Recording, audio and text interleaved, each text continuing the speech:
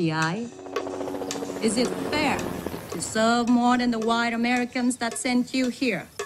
Nothing is more confused than to be ordered into a war to die without the faintest idea of what's going on.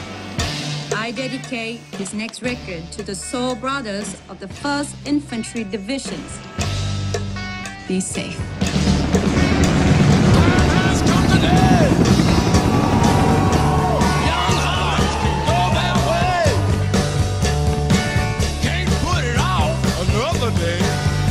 Gentlemen, welcome back to Vietnam. Look what I found. Every man in all his glory. Who was that guy? That brother was the best damn soldier that ever lived.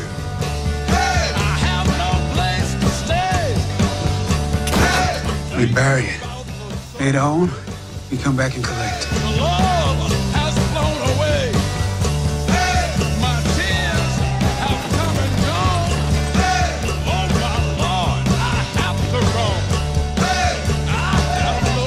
I shall resign the presidency. Being back here, it is not easy.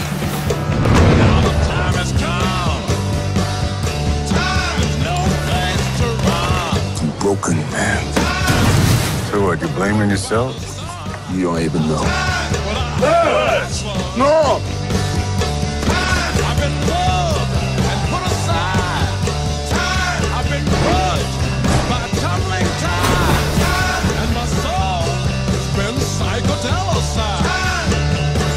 We've been dying for this country from the very get. Now the time has come. There are things to realize. We give this gold has come today. to our people. Hold on! In my line of work, I have to be very careful. And that means knowing exactly who I am in business with.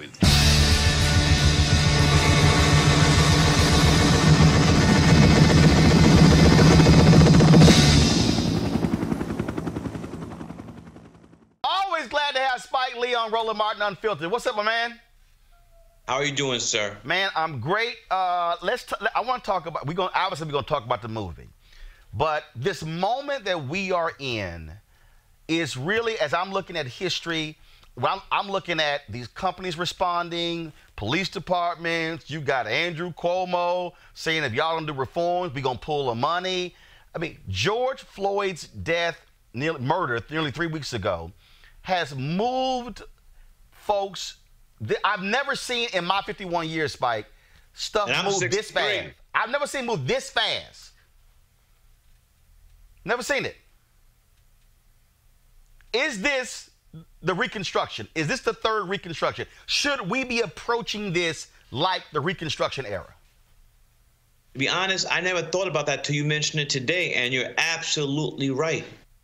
And I think that it speaks to the power of the image as the world saw the last eight plus minutes of our brother's life, our brother King George Floyd.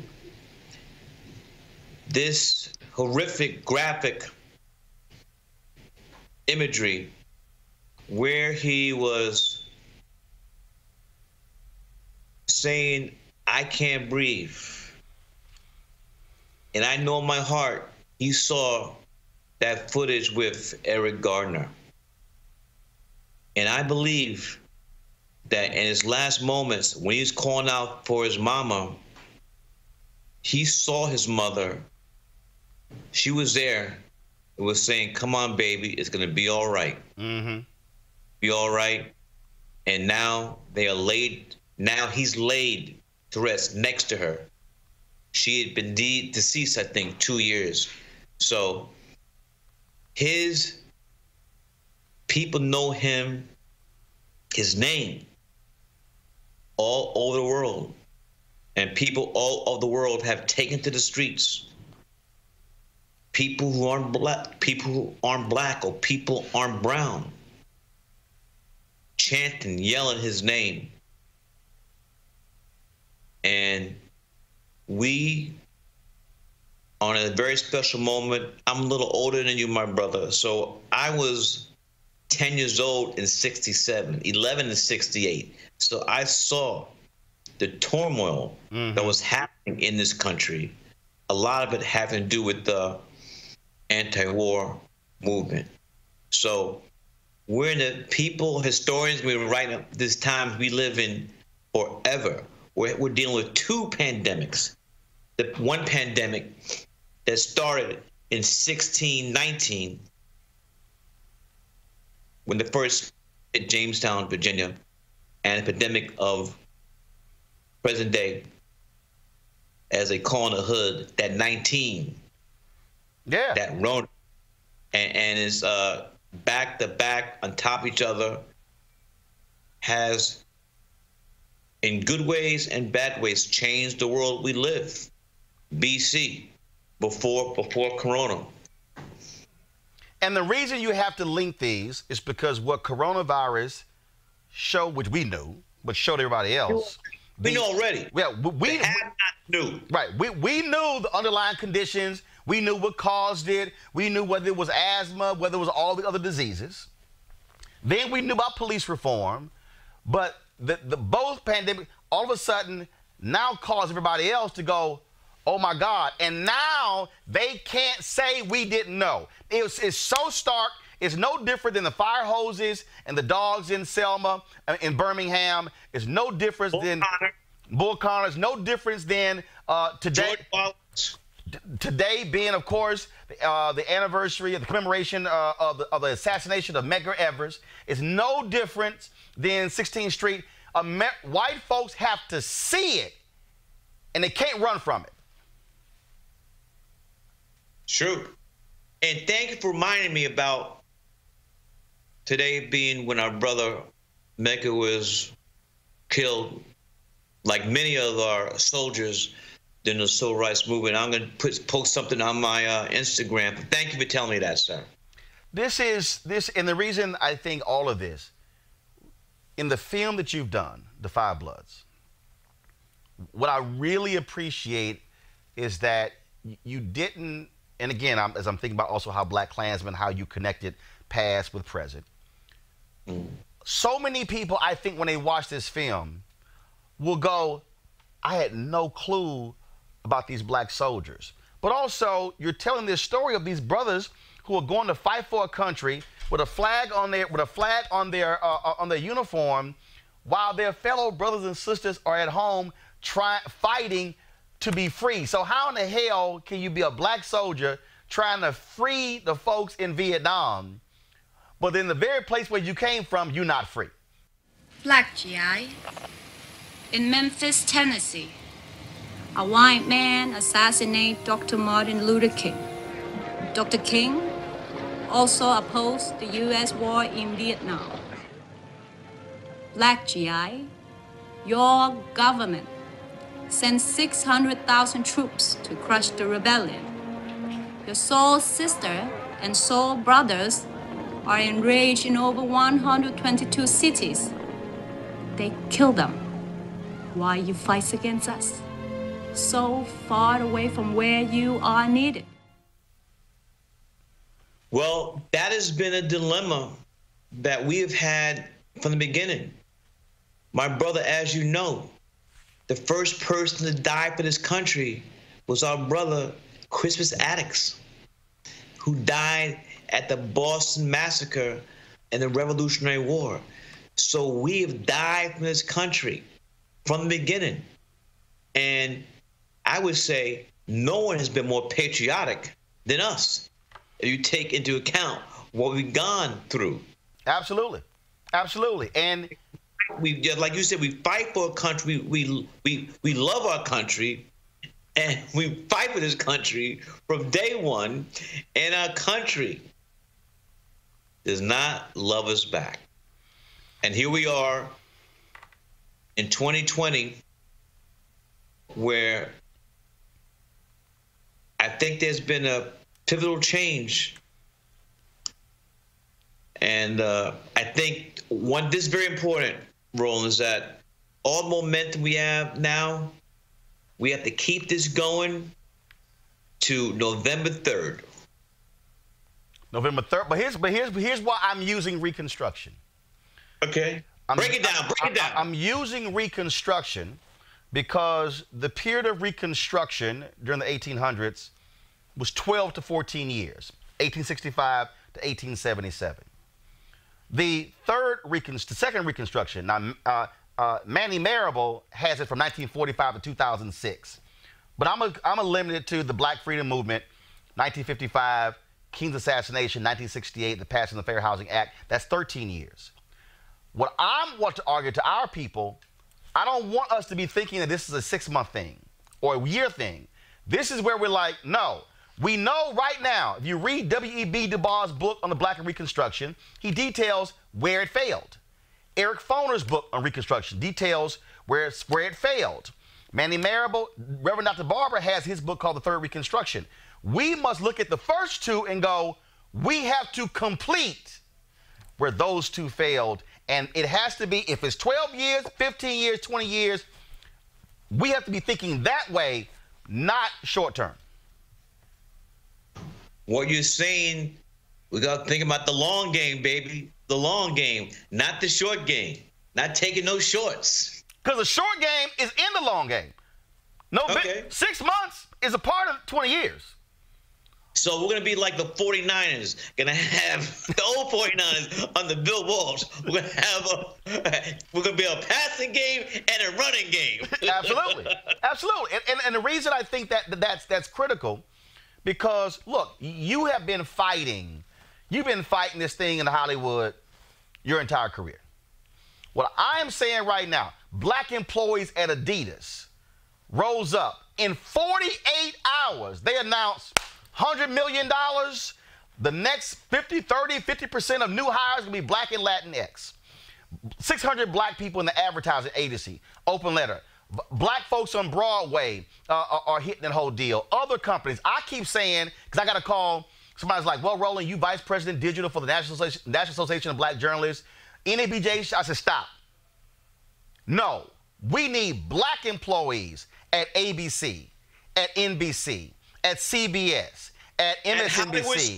And- right, we need black employees rising up, rebellions internally, holding, saying to the companies, this is what we've experienced, what we've gone through, lack of promotions, the racism, discrimination. Y'all got to change. And we're seeing what happened. Second City CEO quit because he did he, he admitted I didn't handle racism. Philadelphia newspaper editor resigns after running that uh, article. All buildings, uh, all, all buildings matter too. The New York Times editorial page editor resigned after running Senator Tom Cotton deal. The Refinery 29 co-founder resigned because of that. Anna Wintour apologizing for her behavior and saying we haven't done enough uh, to to increase blacks. Bon Appetit editor quits because of allegations of racism. All of that happened because black employees inside spoke up. So what I'm saying is, if you black at one of these companies in, in the industry, and if you scared, this is the moment where you got to have some damn courage. Step up, baby. Step up.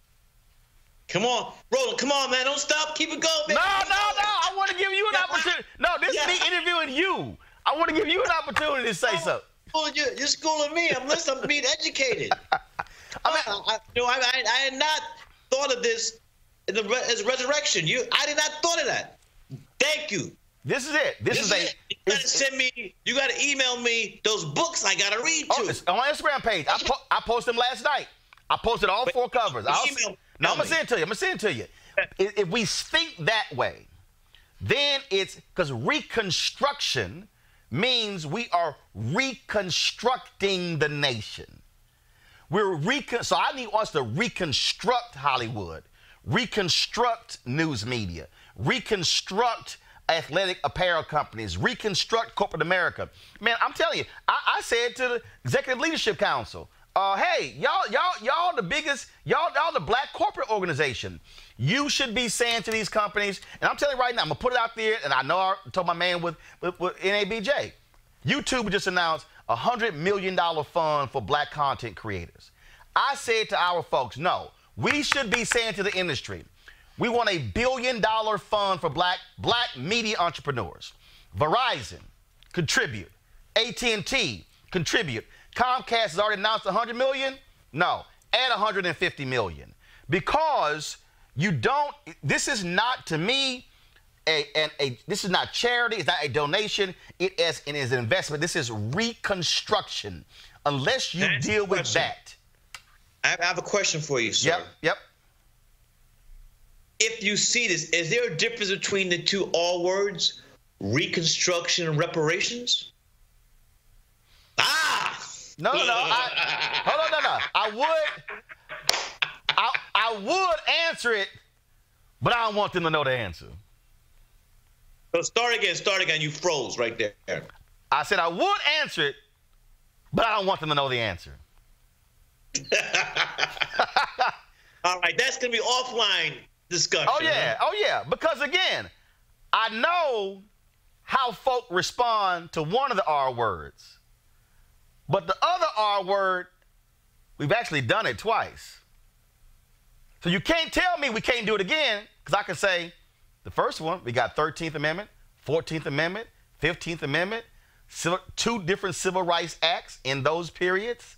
We can show you the expansion, how many black schools were open, African American. Uh, I was reading last night 257 black schools were open in North Carolina alone. In one 10 year period, 1,200 black newspapers were launched in a decade period, and that was with a black illiteracy rate of 80 plus percent. Mm. So you have this period, the Freedmen's Bureau, all those things were created during a period of Reconstruction. I need us to be thinking 10, 12, 15, 20 years and say this is the moment because, Spike, we've never seen, they t- they're taking down King Leopold's statues in Belgium.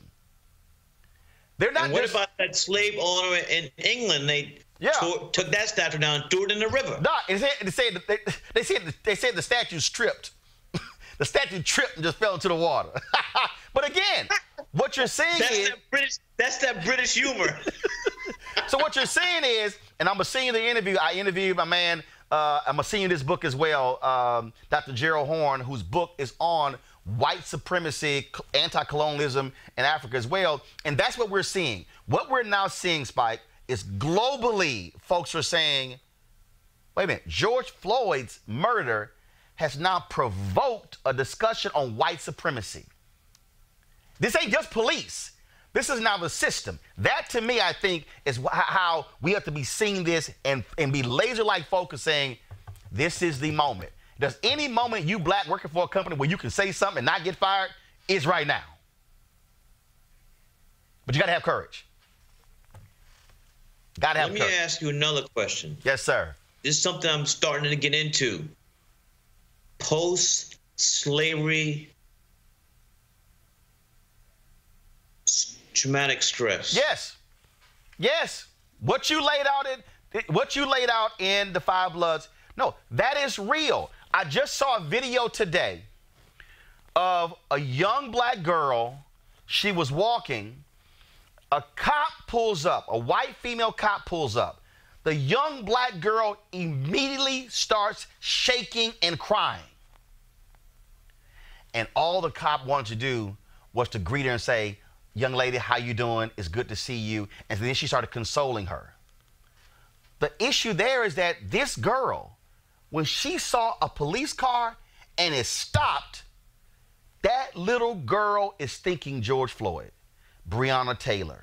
She's thinking, um, uh, she's thinking John Crawford III. She's thinking Eric Garner. Yeah, all of that, all of that is tied to it. It's no different than we got to go in. Oh, hold up, we got to modulate. No, let me take the bass out my voice. Let me turn the treble up.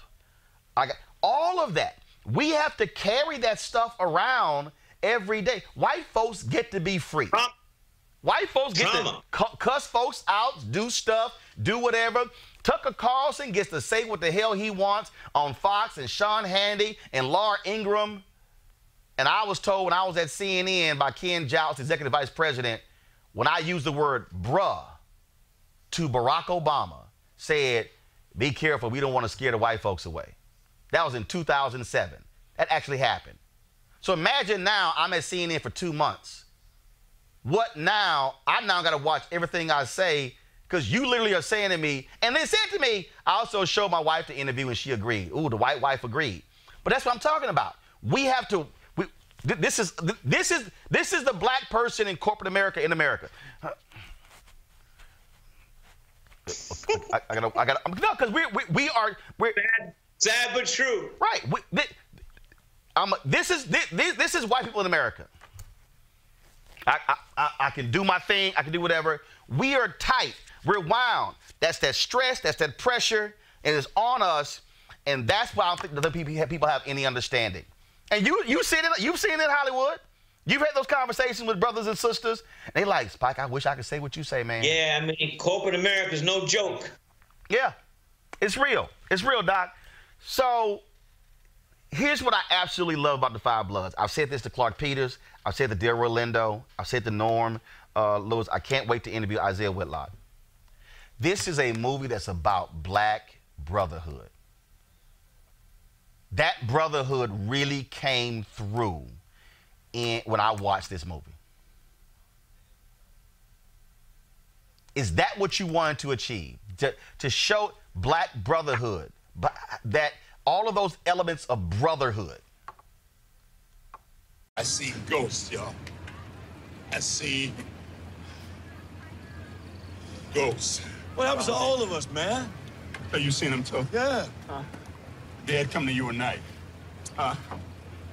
Stormin' Norm comes to me damn near every night. Now he talked to yo like he talked to me. Come on. I don't think so. Come on. Fist up.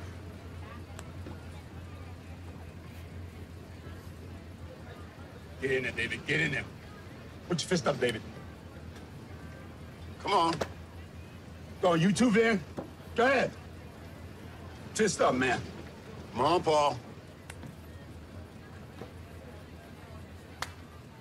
Love! Yes, I wanted to show the brotherhood, which we don't see a lot, like black men being open, being vulnerable, and loving one and each other. And also, it's amplified when you have people, brothers, bloods, a term of endearment that the black Vietnam soldiers called each other, mm, bloods. Mm-hmm. When you're in a war, when you're in a battle, and you gotta look, to, you gotta look to the left and look to the right. And those are people you're depending to keep you alive, and they depend on you to keep them alive. A, a bond is formed, a foundation. So uh, we wanted to, and I think we were very successful in, in just demonstrating that. I, I said something to Delroy, and he said, "Man, I have never heard that in any of these interviews." I said to him, "I, I love, I love the the all, all the, the hand, all the dapping, the hand signals, and Yeah. how, and and how and how." No in Vietnam by the brothers. That DAP, they brought it back to the, the States, but it was formed in Vietnam. what I loved about it, and again, I tell my audience, I might look at movies a little bit differently than other people. When the scene where the world different than other people. the scene where they all had to and I love it. I love that. Yes, sir. They all had to put their hands in the center. Disagreement, whatever, you got to come back. I said they were forced to. And Delroy said, Well, no, I don't say forced. I said, No, no, no. Here's why I use the word forced. Because, again, as somebody, as a life member of Alpha Phi Alpha, there's a brotherhood.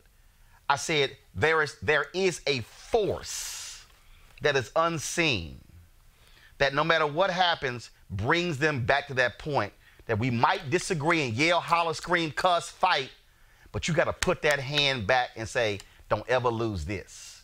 And he was like, oh, now I see what you're saying. That that was it. Bloods. Well, and, And, and, Yep. and, and, I think that's a great analogy talking about the bond and the love that one gets from black fraternities and black sororities too. yeah, It- it- fight. it's the collective. It, I mean, it is it is it is the collective, and I think for this, this was older black men. Now we've had movies like The Wood Brothers. We've had other movies where you know Juice, younger black men. They're a group. They're a posse. But I was sitting here watching it, and I'm seeing older black men who who are connecting and afraid to share, but then when they do share, that brother's like, yo, dog, we here for you. So the norm, I, I don't want to give up, but the norm character, and then the Delroy character and what he's going through, and then all, like all those pieces. I mean, I was watching and I was like, yo, I said, you are you do not see a lot of black male love and affection, even to the and uh, now tell me if I'm wrong or not. Even how they hugged each other in the movie, they didn't sit here and just the handshake and just, you know, the hand, the arm. In. No, no, no. Full embracing. That's a different level of intimacy than just that, that sort of hug.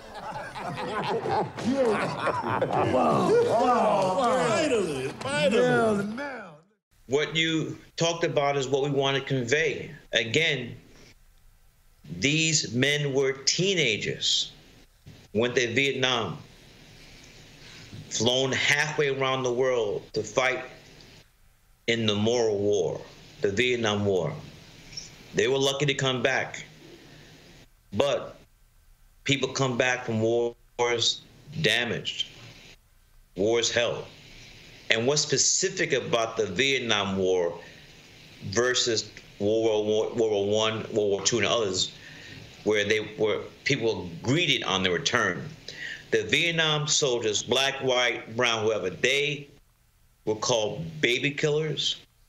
They were spat upon and just discarded. So that had not happened with other servicemen returning for World War One, World War Two, and the Korean War. What also I thought was just really fascinating because when I, you know, when you won the Oscar, I remember you posted a photo the next day of flying out to shoot this movie. Yeah, I went to. Uh, I was on the next morning. I was on a flight Yeah. to Bangkok, Thailand. The next morning. And I remember you you telling me about it, and then I'm reading all this sort of stuff, and so I'm going, okay, so you got you know these brothers served in Vietnam, but I really thought it was amazing, adding the son of the Delroy Lindo character, because to me that brother represented that generation who completely misunderstood and had no idea what the war did to their dad. And he need and, and by him going back, he saw it and felt it and then understood what all that pain was in the in, in the preceding what some 30 plus years. You on fire today, huh? No, I told you, I watched the movie. I it was like three o'clock in the morning, and it was funny too, man, because I had to keep putting the code in, and the, it wasn't working. And I was emailing, I was like, "Yo," I put the movie on pause. I had to come back. I couldn't pull it up. I was like, "I'm finished watching." This. I think I think it's a two-hour and thirty-five minute movie. I think it took me four hours to watch because I was like, "No, I'm going. I'm not coming back in the morning, y'all." And so it got fixed. But I know, but they were like, if he's sending one more email tonight about this code, I'm like, no, because it, it was just. I mean, that's to me that that connection. It just spoke volumes.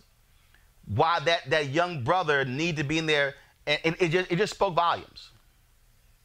And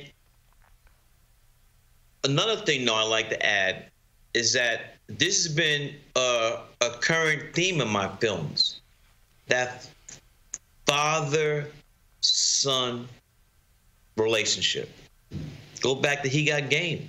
Mm, mm, Jake, Jesus, and Jake Shuttlesworth. mm. And, and no disrespect to the, the, the mother daughter relationship we did we touched upon a lot in Crooklyn. Yep, yep. But that father son thing, complex. Yeah. And rarely seen when you look at uh, we look at a lot of these movies. Only did is the only other issue that, j- that I, I had a problem with. Dog, I was sweating my ass off watching the movie. How hot was it? I Well- watched. I'm in my living room with the AC on. Like, why am I sweating? Them brothers were gl- they were glistening. I grew up, first I grew up in Houston, so I know heat. So I'm I'm watching like, oh hell, this is Houston in August. I'm born and raised in Houston. August, it hit a hundred. hundred- Houston ain't got nothing on that Thailand, Vietnam, brother. When I, the, I told you already. When, when I, the morning after winning the Oscar, I was on my plane to Bangkok. Uh-huh. When I got off that plane, that heat hit me upside the head. What? and we were shooting the jungle. Yeah. There was there was no need for makeup people going around and spraying people with the water bottle. That was real 100% funky, smelly sweat. Every day was over 100 degrees. Man. And y'all were in the y'all were in the jungle. The Hollywood backlot. Y'all were in the jungle. It was hot AF. it's all right. This show rolling about unfiltered. Ain't no thing. You, you ain't got a censor. Uh, man, it was okay. Now I now when I first okay, so when I see the first time I see the flashback scenes with Chadwick, and I don't see young actors playing the older actors. And at first I was like, what? I ain't never se-. I'm like, I ain't never seen this. But as I as, as the scene kept unfolding, and I went, oh, so what Spike wanted to do was put the older brothers back in time, but Their memory as their right. That's what I, because that's what I mean. So I, I thought that was just a great, because rarely do you see that. Normally, Well, let, me give the, you the, let me give you the reasons. Very pragmatic. Netflix was the last place I can go to get this film made. Mm. All your places, studios had turned it down, and we had a budget.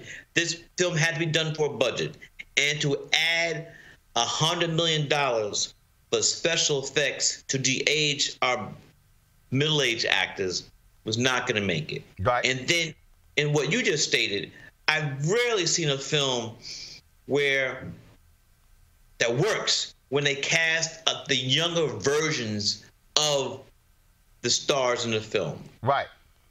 And also, as we were just talking about the heat, any prosthetic makeup would have melted off their face with that 100 degree heat. Mm-hmm.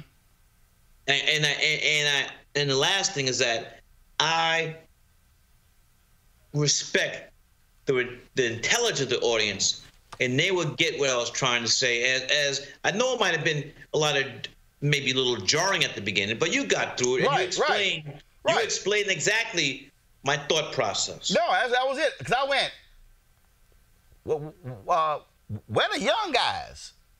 Then I went. That, and then as I kept watching the scene, and then I went.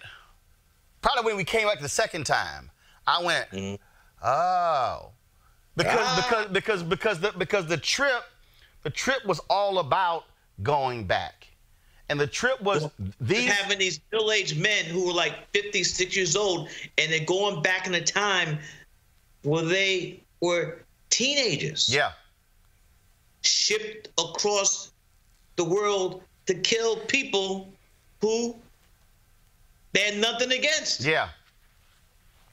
Yeah. No, it was it was and that was um uh, it, it really it, it really stood out and, and but I, I'll tell you man I've I've said this uh, I'd always wanted to interview Delroy Lindo. I, I, I have said numerous times that the two actors who I absolutely believe should be beyond huge in terms of leading roles, who are incredible, Delroy Lindo, Jeffrey Wright. Mm. And and to see Delroy have have this role and the intensity and what he brought out when it came to PTSD was it, it was just riveting to watch that emotional roller coaster. and i'm glad you you you talked about delroy because he's one of the greatest actors working and i hope and prayer i hope and pray excuse me that he gets the light the shine and the claim he so truly deserves because he's been putting in work Yeah. for a year. Not like he just he just showed up. He's been putting work from the get. Yeah. And we have a relationship. Yeah. Boy played West Indian Archie. Oh, man. In Mount played my father, my real life father in Crooklyn. Clockers. Played the drug the drug kingpin and Clockers. So great, great performance. And and, and the thing of that this is some that his he's so tragic Yeah. in this. I mean, you you look at him, it's like this is an individual who has never got one break the entire life. Mm-hmm. Ever. But he wasn't happy that you made him wear a certain hat. I read an interview. He was like, "Spike, you gonna do this to me?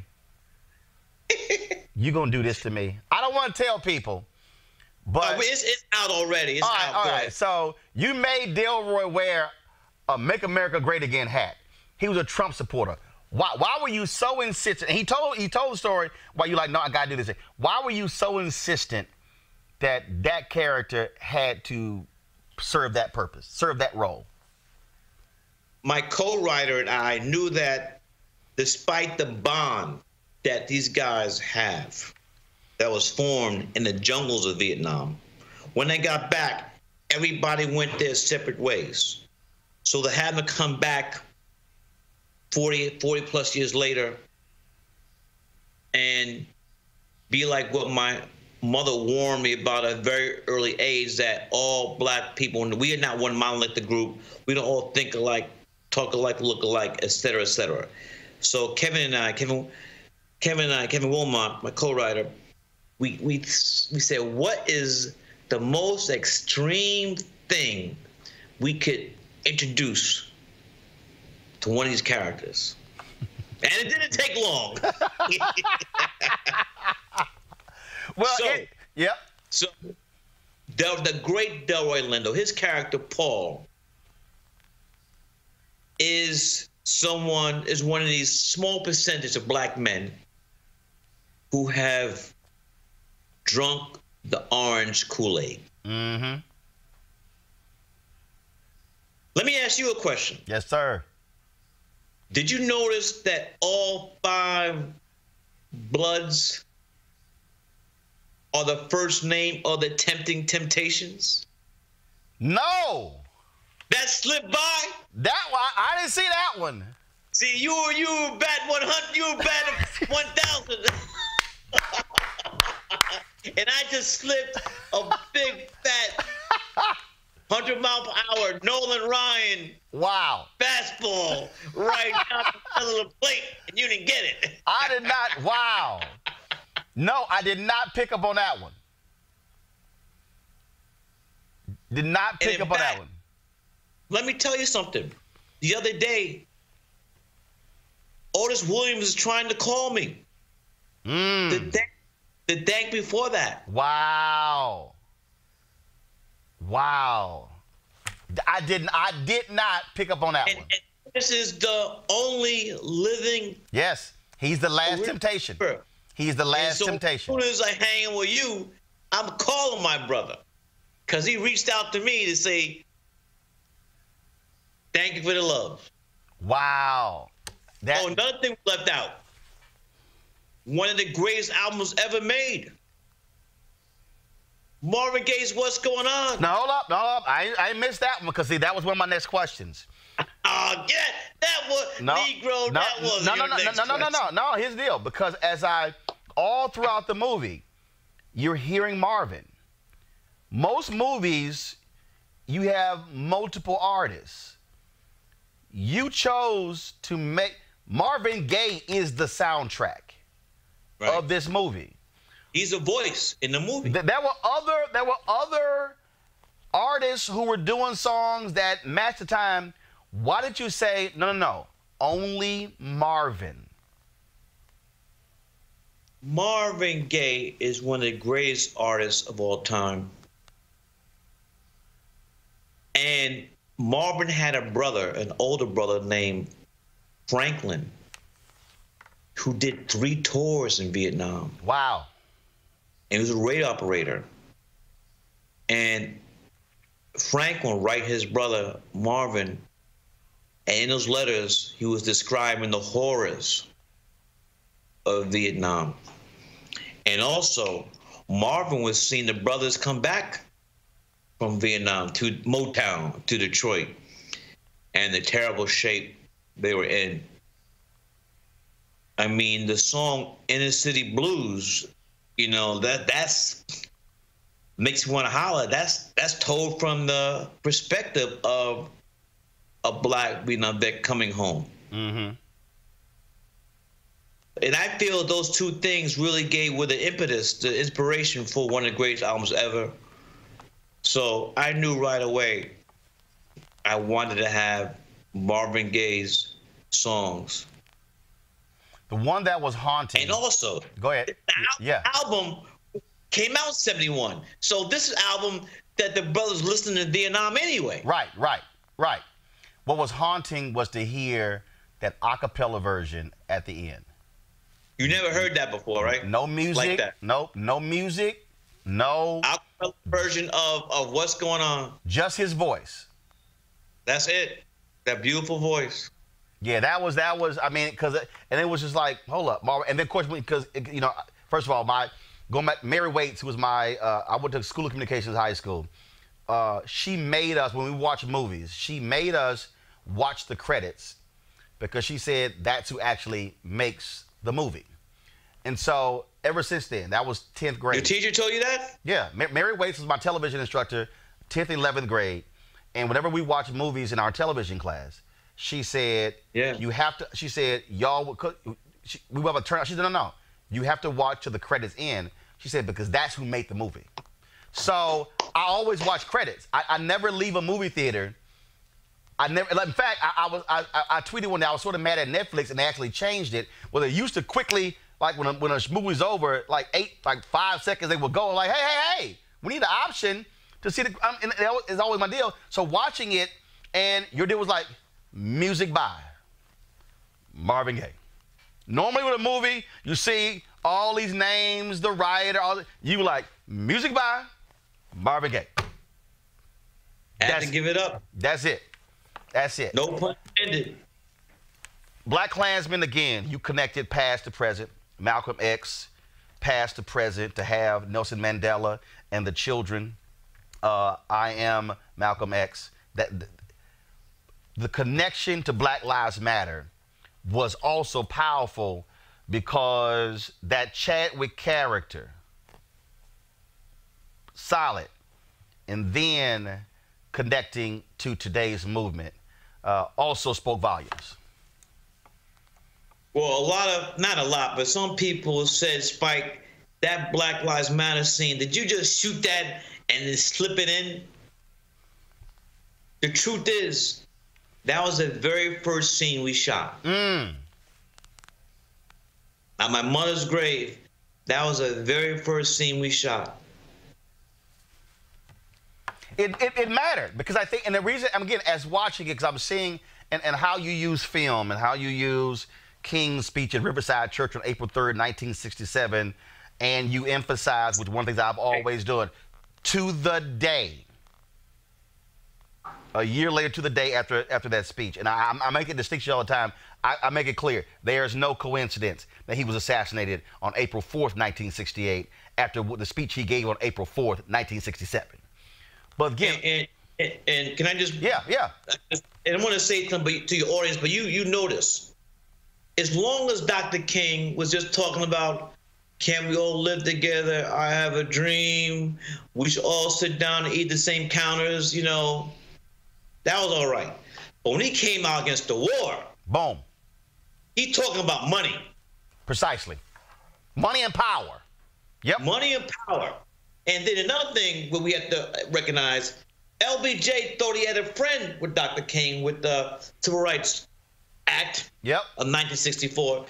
LBJ, when Dr. King stepped out, felt like he had been betrayed. Black people, dog, Dr. King. Black people talking about how immoral the war is. That's when they said he got to go. Black people. Roy Wilkins, NAACP, Whitney Young, National Urban League, Carl Rowan. I mean, King was vilified and attacked. And so seeing that I, I just thought was so important because when you watch these films, when you watch these Vietnam films, we watch Apocalypse Now, when you watch, you know, all, all these other different films, you're watching a, a Vietnam film, you're seeing the jungle, you're seeing the fighting, But for for these again for these black soldiers, it, there were two wars that were going on, and folks today have to I, just they had to be hit between the eyes to say no, we ain't just talking about them going back to Vietnam. No, the war was at home, and so seeing those clips and seeing the uh, the, the, the the newsreels and linking Muhammad Ali and putting all those things, you know, weaving all of this in tells a story that, and then of course with the Black Lives Matter, pulling it all together by saying, if you think that war ended, this war for black people continues. And Black Lives Matter, those are the new I soldiers in the war. Where they say, you know, wars never end.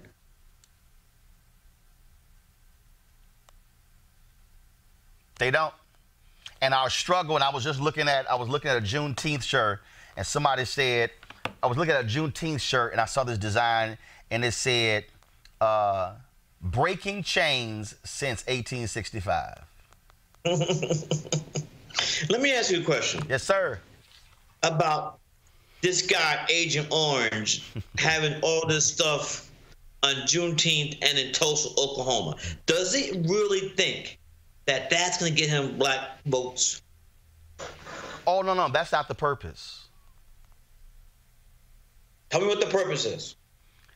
Donald Trump wants black people to respond angrily on Juneteenth. Donald Trump, Donald Trump has to move his base racially. He has to touch their anger and their fears. So his pronouncement this week, we're not renaming army bases named after Confederate generals. That will never happen. The, the bill moved through the Senate committee. Now let's see if Mitch McConnell puts it on the floor. Then it passes the House. Then will he veto it? What Donald, it's all by design. See, Donald Trump doesn't want, Donald Trump does not want to actually get a massive a number of black votes. He wants to pick off, and he specifically, Spike, he's specifically trying to find a bunch of Pauls. He got mm-hmm. thir- there was a nine, there was a 13 point gap between black men and black women who voted for Trump versus Clinton in 2016. It was a nine point gap between black men and black women with Romney and Obama. So Democrats have had an issue how that black men have been voting more for Republicans than black women. White House told me point blank, they believe that they could get, they I'm talking about directly, they believe they can get 15 as high as 18 or even 20% of black men to vote for them. So Donald Trump's whole I'm, Spike, listen to me. How much Kool-Aid they've been drinking? No, no, no, no, no, no, no, no. But, but remember, Wait. no, follow me. Let me go. Remember, I just told you. There was a 13 point gap between the percent, 96% of black women voted for Hillary. Subtract 13, 83% of black men voted 80, uh, voted for Hillary. See the gift gap? So here's what they're doing on the money side. That's why his whole deal is First Step Act, criminal justice, and money. So they're appealing to black men who are barbers, who own their own businesses. It's all by design. This literally is their strategy. I've talked to them. Democrats, I'm gonna go back to 16. I'm gonna tell you, I had the conversation directly with her and her staff, Huma, and as well as Marlon Marshall, the brother. On the night of the Congressional Black Caucus Phoenix Awards, we were backstage. I said to her, Senator, I'm having a hard time getting your black surrogates, especially black men, on my show. What your staff doing? She tells Huma and Marlon, what's going on? And then Huma, she said, Roll, I need you to go talk to them. She was taking pictures. I go talk to them. I said, Y'all got black men supporting Hillary Clinton, John Legend, Magic Johnson, and others. Why can't I get them on the show? Hillary comes over. She's like, I don't understand what's going on. Huma says, uh, Secretary, we're going to get it fixed. She says, Well, get it done. Because if he's having problems, I'm sure other people are. And she walked off. The next day, I told them, I said, I want Alvin Brown, who was the mayor of Jacksonville, Florida, on who was working on the campaign on my show. 12 hours go by, never confirmed. I finally had to call Donna Brazile to come on my Tom Joyner segment. Hillary Clinton had a black male problem. Democrats have a black male problem. They are not connecting with black men, and the Republicans are looking at them economically. So that's why you hear empowerment zones. That's why you hear them talking economics. That's why he's going to go to Tulsa because he wants to say, my economic policies, black people, really black men, are similar to Black Wall Street. That's why he's doing it. Mm. You broke it down, my man. That's why he's doing it, man. That's why he's doing it. So I've said to Tom Perez and Democrats, y'all better figure out how to talk to black men. You better know. You better go where black men are and have real conversations and have substantive policies that appeal to black men. But, but I've also said to black men, stop just voting for your pocketbook because while you may say the tax breaks for Trump were great for you, his right wing judges are not great for you and your sons. Rolling back civil rights protections are not great for you and your sons and daughters. And so I said, you better stop thinking again just about I got a few extra dollars in my pocket because he has no housing plan. He's actually doesn't believe in police accountability. I said, so he might you might think he's great for your pocketbook, but he's screwing you and your community, and facts don't lie. And that's why when that fool Raynard Jackson had the nerve to call me, Don Lemon, and Joy-Ann Reid out, and I and I and I'm saying, fine, bring your ass on my show, because me and you gonna have that conversation. You want some heat? Come on, we gonna have some heat. Because that's the game that they're playing. And I and so Dr. you know Dr. Conrad Worrill, he's passed away. He gave me and Mark Thompson his last interview. He had barely any breath in his body. He died a week, he died eight days later.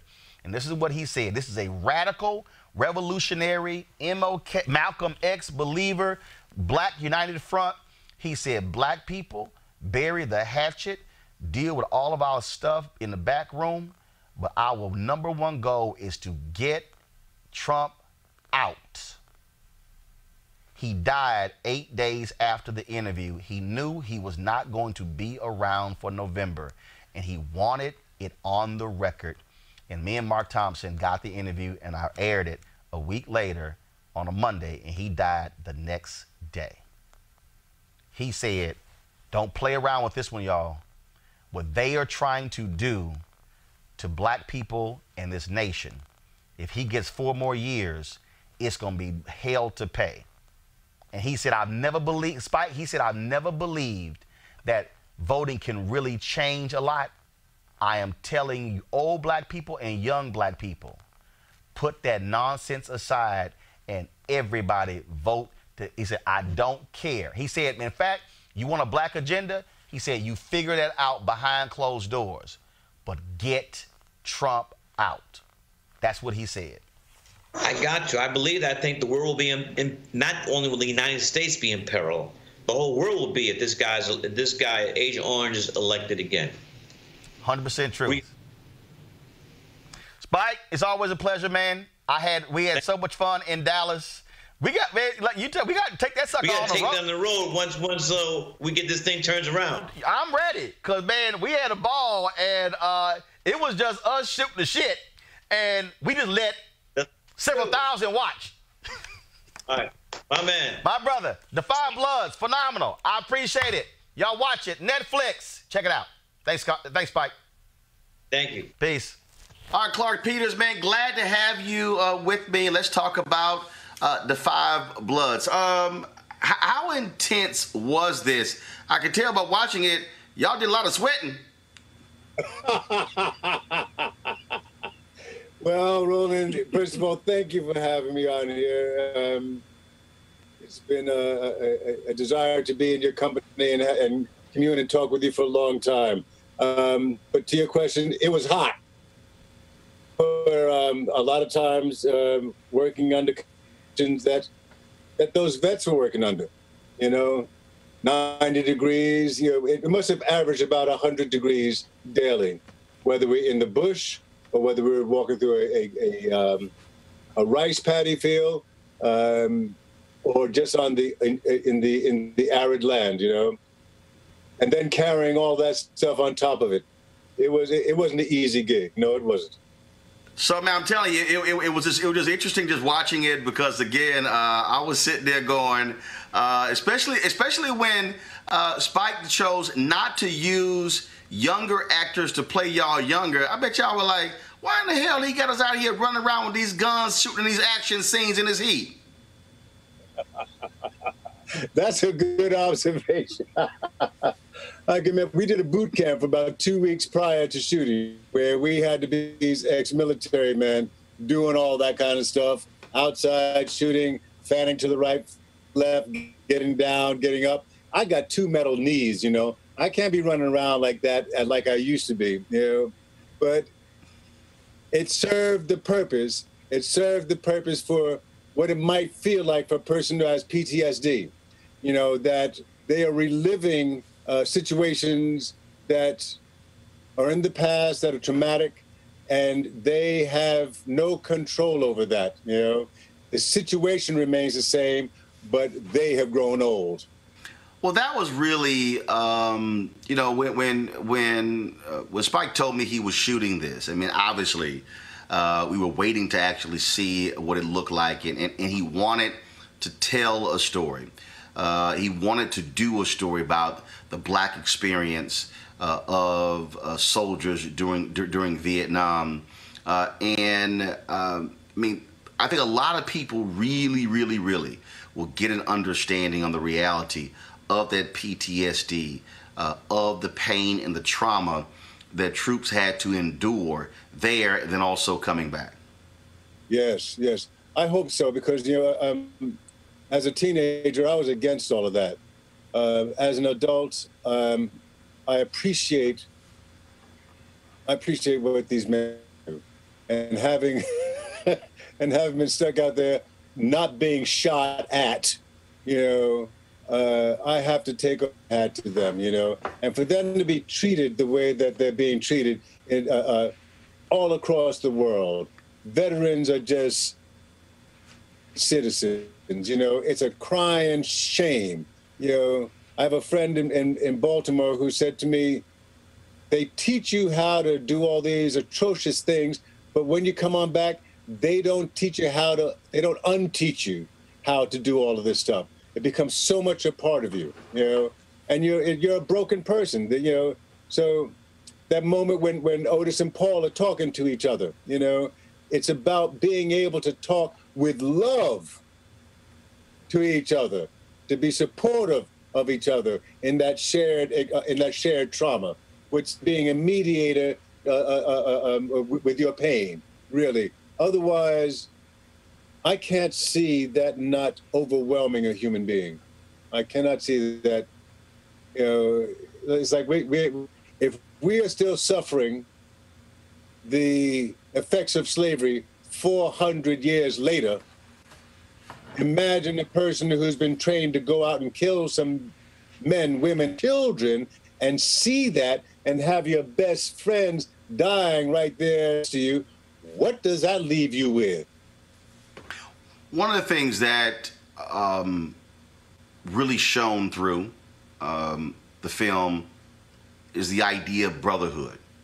That that you really, really, and truly um, are brothers out there, and that experience um, locks in a lifetime of brotherhood. Yes. All of you are actors um, but what did you do off air to establish that level of camaraderie where you wanted people to feel that brotherhood uh, when watching the film? Well, first of all, we were five black men in a foreign country.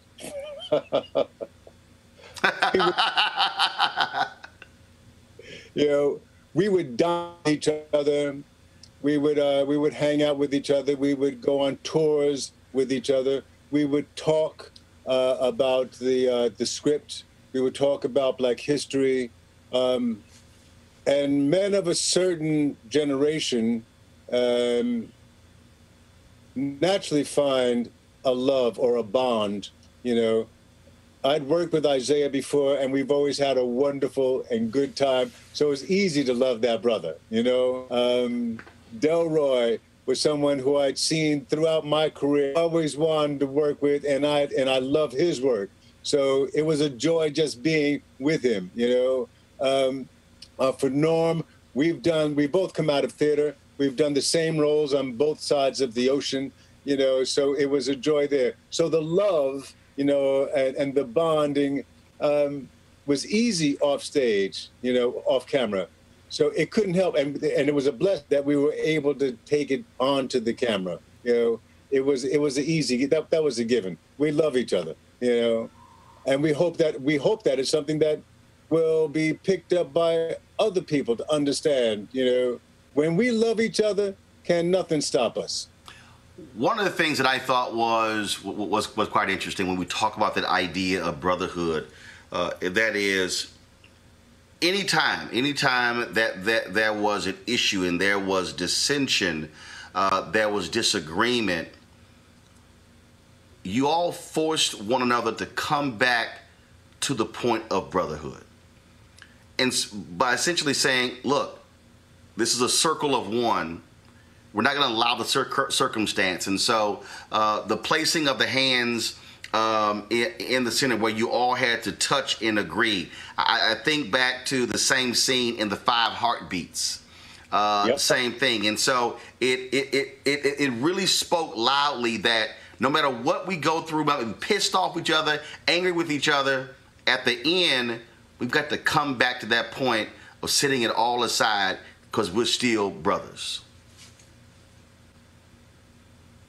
and your point, your point is it is it that that um, um, it's something that needs to be brought back into the into the into the community, into the fold.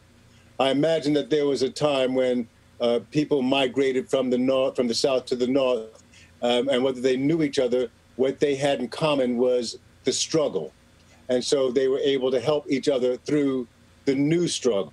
Um, as a generation who doesn't know what we went through in the 60s to bring about, you know, the the the voting uh, uh, the voting uh, rights or the or the, uh, um, anti-segregation bills and all of this. You know, uh, not been in that situation. I can see that it's hard for one to understand how this can be or recognize the power in it. You know, um, but it's a necessary thing for all of us to get back to. It's a thing all men, all men of color have got to get back to, because we are divided, and if we are, if we remain divided, we will be conquered. There is no doubt about that. I got no doubts. You know, but as long as long as you keep these, as long as cats like you keep this conversation going, right? There's hope. Well, that's one look. We, we absolutely will, will definitely keep the conversation going because, again, as as you know, the reason the brotherhood aspect resonated with me. Uh, I'm a life member of Alpha Phi Alpha Fraternity Incorporated, and we have what I actually call brotherhoods, uh, where we is where we look women, wives, girlfriends. No one is invited.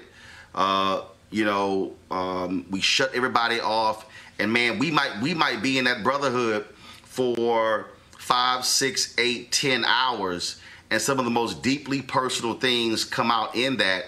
And it was all it's all about uh, connecting with one another and realize that we have something in common, and that uh, even if we don't see each other for a long time, that brotherhood uh, still exists and, and, and I, I, just think that that really spoke loudly watching watching this film uh, and just looking at the interaction um, and even at, at, at, times when the other men didn't know what was going on in a brother's life once they found out you can see they felt the collective pain for that brother. Yes yes. You know there's you know what, what, what we tend to uh, not want to do is share our vulnerabilities um, with each other. Um, And when we do share our vulnerabilities with each other, it gives the listener of our vulnerabilities a chance to exercise their strength. It gives them a chance to exercise their compassion. So it's necessary, as you saw with this, you know, when when um, with Paul and Otis, Otis talking about uh, uh Paul talking about his PTSD. Otis saying, "You got to talk to somebody about that." I invite you to come along and sit with us. If we don't go through that type of fire, if we don't sit in the crucible with other brothers going through this motion, then then we won't. We're not galvanized within ourselves. You know, we're uh, uh, you, you're still a bit of soft clay. You know, you haven't been. Uh, uh um, what's the word? You haven't. What's the word? Huh? What's the word? you haven't been Baptized. fortified. You know. right. So I gotta ask you this here. Uh, you talked about working with Isiah before. That dude is absolutely hilarious. I mean, so even though this is a drama, it is intense. Uh, he just delivers some of the funniest lines in, uh, in this movie. I just he had to have y'all cracking up on the set. More often not. there's there's a there's one scene where some of his lines were taken on out because it was just too funny. I mean, he was just. I love Isiah because when, when we when we were in Baltimore together, he would travel around Baltimore on a bicycle, and I'd say, "Hey, Holmes, you know, why don't you get a car?" You know, and he said, "Clarke, you know, it's the way I like to out, but like you make me embarrassed every time I every time you, you see me with the bicycle." Well, after at the end of one season, I was in New York oh, and I saw him coming up 8th Avenue on his bicycle. And he tried to hide. and all we could do is laugh. all we could do is laugh about this, you know. You know, I got a lot of time for Isiah. I really, really, really do, you know. And he's one of our theater brothers, you know. So uh, yeah, we got a lot. We, we got a lot to mess around with. Obviously, um, when when we examine um, the, the various relationships, um, I really, I, I, really was, I really was surprised watching it to see the inclusion of the son of Delroy Lindo because it was it was it was sort of like as I, when I watched the movie and I'm, I'm thinking it's it's it's it's the four of you going back. Then all of a sudden that character is brought in. I, I, I thought that was that was a really interesting thing because it brought the next generation to to come to come to to to, to come full frontal with what that previous generation had to endure and for him to actually see what that pain was like for his father that he never really understood. I thought that was a very interesting twist that was used. I hope that I hope that uh, um, that uh, some young bloods who are, who see that um, come to the same conclusion as you, Roland. Um, it's one thing to to to um, to see the vets out there on the street, you know, with a sign across them saying homeless or, you know, or off on drugs. But it's another thing to walk in their shoes and understand how they got in that condition. And until, uh, um, in this respect, until uh, uh, some young men really take a look at it, and this is almost redundant for, for Black Americans because we we are constantly in war anyway, daily. So, um, and if you think you're not, then you gotta you got you got to rethink your your your your, your position. Um, but it, for us as well, it was it was great to have young blood there, so that we could as well express our need to nurture and to look after him as well, because he might have been uh, Paul's son, but he was all of our nephews. You dig what I'm saying? You know, it was necessary mm-hmm. to to find a way to uh, uh, to keep him in the fold. You know, and also not give him an easy pass. You know, you don't get no easy passes. You follow what we're going to say, and then no questions about it. Otherwise, we'll throw your ass off of that off that back. And like he said, well, one of y'all are coming with us. That made us think, well, well, that might be true, you know. But you know that that's that's kind of how it went down. well, it was. I mean, I, I just, I, you know, again, I, I it's, it's, one of those things that, um, look, I mean, I, I, I watch a lot of movies, um, and what was also great, which frankly we do not see a lot of. We don't see a lot of films of older black men being able to show and go from love, brotherhood, vulnerability. Uh, and we've seen movies with younger brothers. I think back uh, to Juice uh, and others.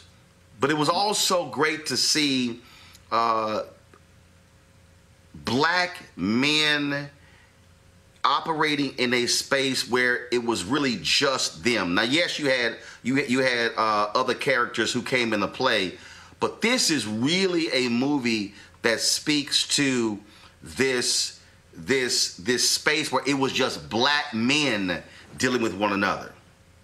Yes, yes. Black men dealing with each other uh, um, in, an, in in a situation that was only theirs. You know, a situation that isn't shared with or that, that, that is unique. You know, black men going back to to uh, to find their fallen brother. That alone, that alone, is uh, uh, is, is, a valuable uh, um, lesson uh, uh, and a wonderful story. You know, that should plant the seeds of, of compassion and need to nurture, hopefully, in some youngsters. I can remember looking at these films when I was when I was when I was a kid. You know, Saturday afternoon. You know, you'd always get something, some old black and white film that turned out to be a propaganda film. You know, but there were elements of it that made you feel heroic, that you wanted to be the hero. You know, I got a chance to play in one of those films, and it's called The Five Bloods. And it had nothing to do with anyone else except us trying to look after each other and mm-hmm. care of each other and love each other. I think that that's what that, that's that's that's what uh, it's that love. I think anything else that is prominent in this in this piece. I think that's what what will what people will carry away with them. You know, speaking with some of the young sisters that I was I've been doing interviews with, that's what they are taking away with from uh, from it. You know, that's what they've got from this. You know, I wasn't too sure, and I'm still not too sure of exactly how the rest of the uh, uh of the world is going to take it. In light of everything that's going on now, in light mm-hmm. of all that, with this uh, history lesson that you're also getting, um, you're getting more than you bargained for for your money, whether you know it or not. I do have to ask you this here. Um, the character you played in Love Is.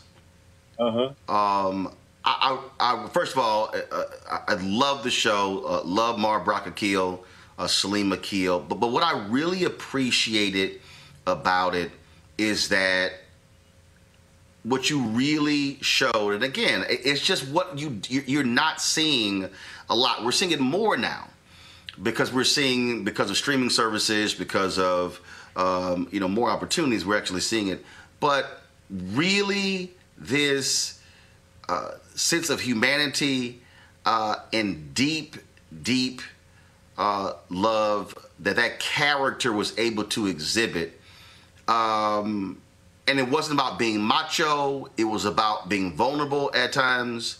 Um, and I just really thought what what you did with that character was really great. And, and, I, and I've told Mara, I said, I, I really, really hope um, she is able to bring that show back because I, I, just thought it was just an amazing thing to watch to watch black love, pain, agony, ecstasy every single week. Yeah, I think you're right. You know, um, over here, um, I remember walking through uh, one of the grocery stores, and I'm being followed by this young sister, you know, and she stops me. She says, "Hey, excuse me, excuse me, love. Are you that bloke that's on that Love Is thing?" I said, "Yes." Said, know, I, am uh, uh, it's the best thing that she'd ever seen, you know. When we get a chance to express again, uh, I guess sometimes we just need to be shown how to love you know. But one thing I do know about love is that if you stay in it, if you stay in it, it really can take care of everything, you know. What I love about uh, about uh, uh, um, about that show was that this was a couple that was going through all sorts of stuff, and took the time to remember where their center was, which was that pillar of love, they were able to overcome some stuff. I felt that also, and this is, you know, this my, I might be speaking out of turn here, but I think I need, I think it needs to be said, is that a brilliant opportunity was missed when all the nonsense went down with that, because had they kept the the the uh, cameras rolling and the people writing, we would have been able to see that love in the in work in real time, in real time, in a real situation, and should and it shouldn't have been pulled off because of what it was pulled off for. But we should have stood up and challenged it with the same things that we were doing on that uh, uh, uh on that show. Yeah, yeah. I agree. More I agree. More of I that. agree. More of that. We I, can't be afraid I, of this stuff. You know, we can't be afraid of it. There's nothing soft about about loving. You know, you try that. You try that, man. It, it's hard. It's hard sometimes to forgive somebody and to be in the same room with them. It's hard as hell. But if you stay there and you stick with it, you find you find yourself elevated by the experience. You know? And sometimes I think that there's a conspiracy against us to love ourselves because of the power of it. Because it's easier, it's almost easier to to to to smack somebody upside the head rather than sit back and argue, debate, try to understand another person's side. There was a time when we used to fight.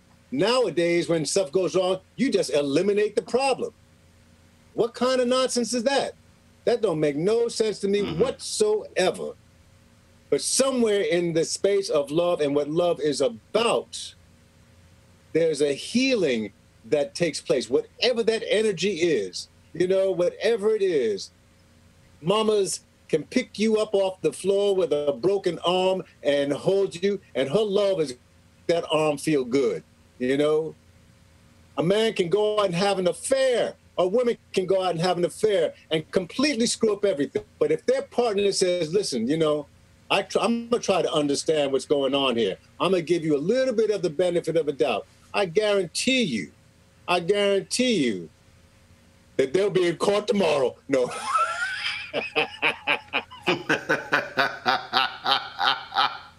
well, man, again, I, I, just, I just, I just wanted to, to tell you, uh, thank you for, for how you played that role. Uh, I just really uh, think that uh, it, it, it, it, it, it it is it is it's important for black men to see characters like that um, that represents uh, a level of manhood that we often don't see. Uh, and, and, and, so the, and so I, I, just thought that that was just just really important and, and, I, have expressed that uh, to Mara and Salim as well that uh, that really again I really think stories stories like that are vital because unfortunately, and just like stories like what we see in The Five Bloods is vital, is because we don't see enough of black men showing that love, care, affection for one another. That and, and, and this is and again, and I want sisters to understand, just like when I talk about being in my fraternity, there are places that women cannot and should not be when it comes to black men. Just yes. like there are places that black women need to be at amongst black women.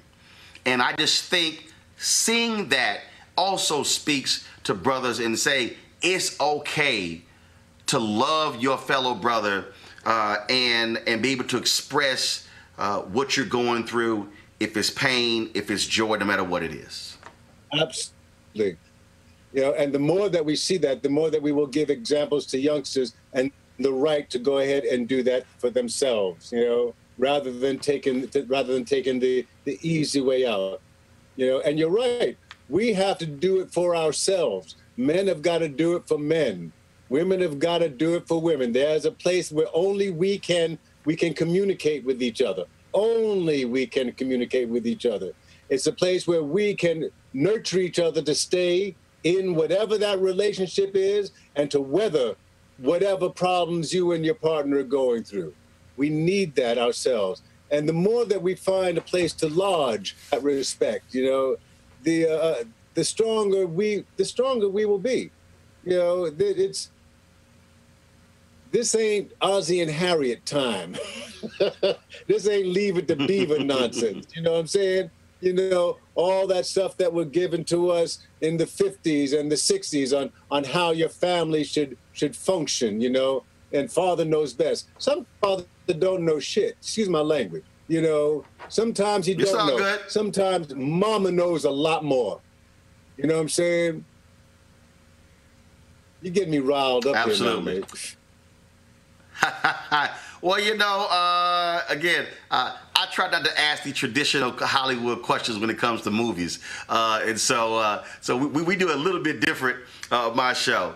Uh, Clarke Peters, uh, it, it, has been absolute fabulous chatting with you. Uh, hopefully, uh, our paths will get to cross one day, uh, and then I'll get to uh, give you one of those brotherhood embraces.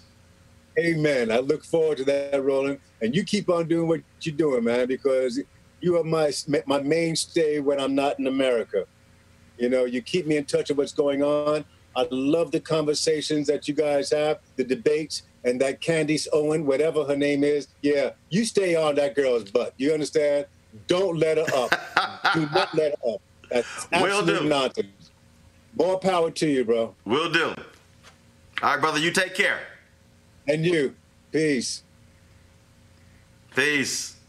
Absolutely enjoyed this film, The Five Bloods, and the consistent theme that in my conversation with uh, with um, with Delroy, of course, um, with Clarke, is that this movie really is about brotherhood and the love between black men.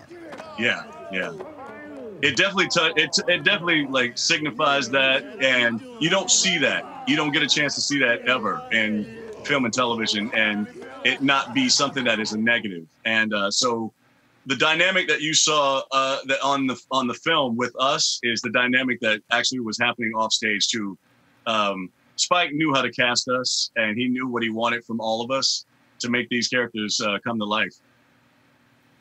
Well, and the thing is, the thing that, again, in watching it, um, is that when you talk about brotherhood, brotherhood doesn't mean we all get along all the time. Right. But what it means is, and this is what I, in, in, when I chatted with Delroy, that there, that there is a force that exists that no matter what you're going through, no matter what your personal issues, no matter what the arguments, that we're gonna come back together and keep it together. And that's why I love that whenever something happened, uh, where, where, y'all put the hands in the center, where you and all were touching and connecting, because that was saying, no matter what, we're gonna all still be here together We're gonna get over it, but we but we cannot lose this bond.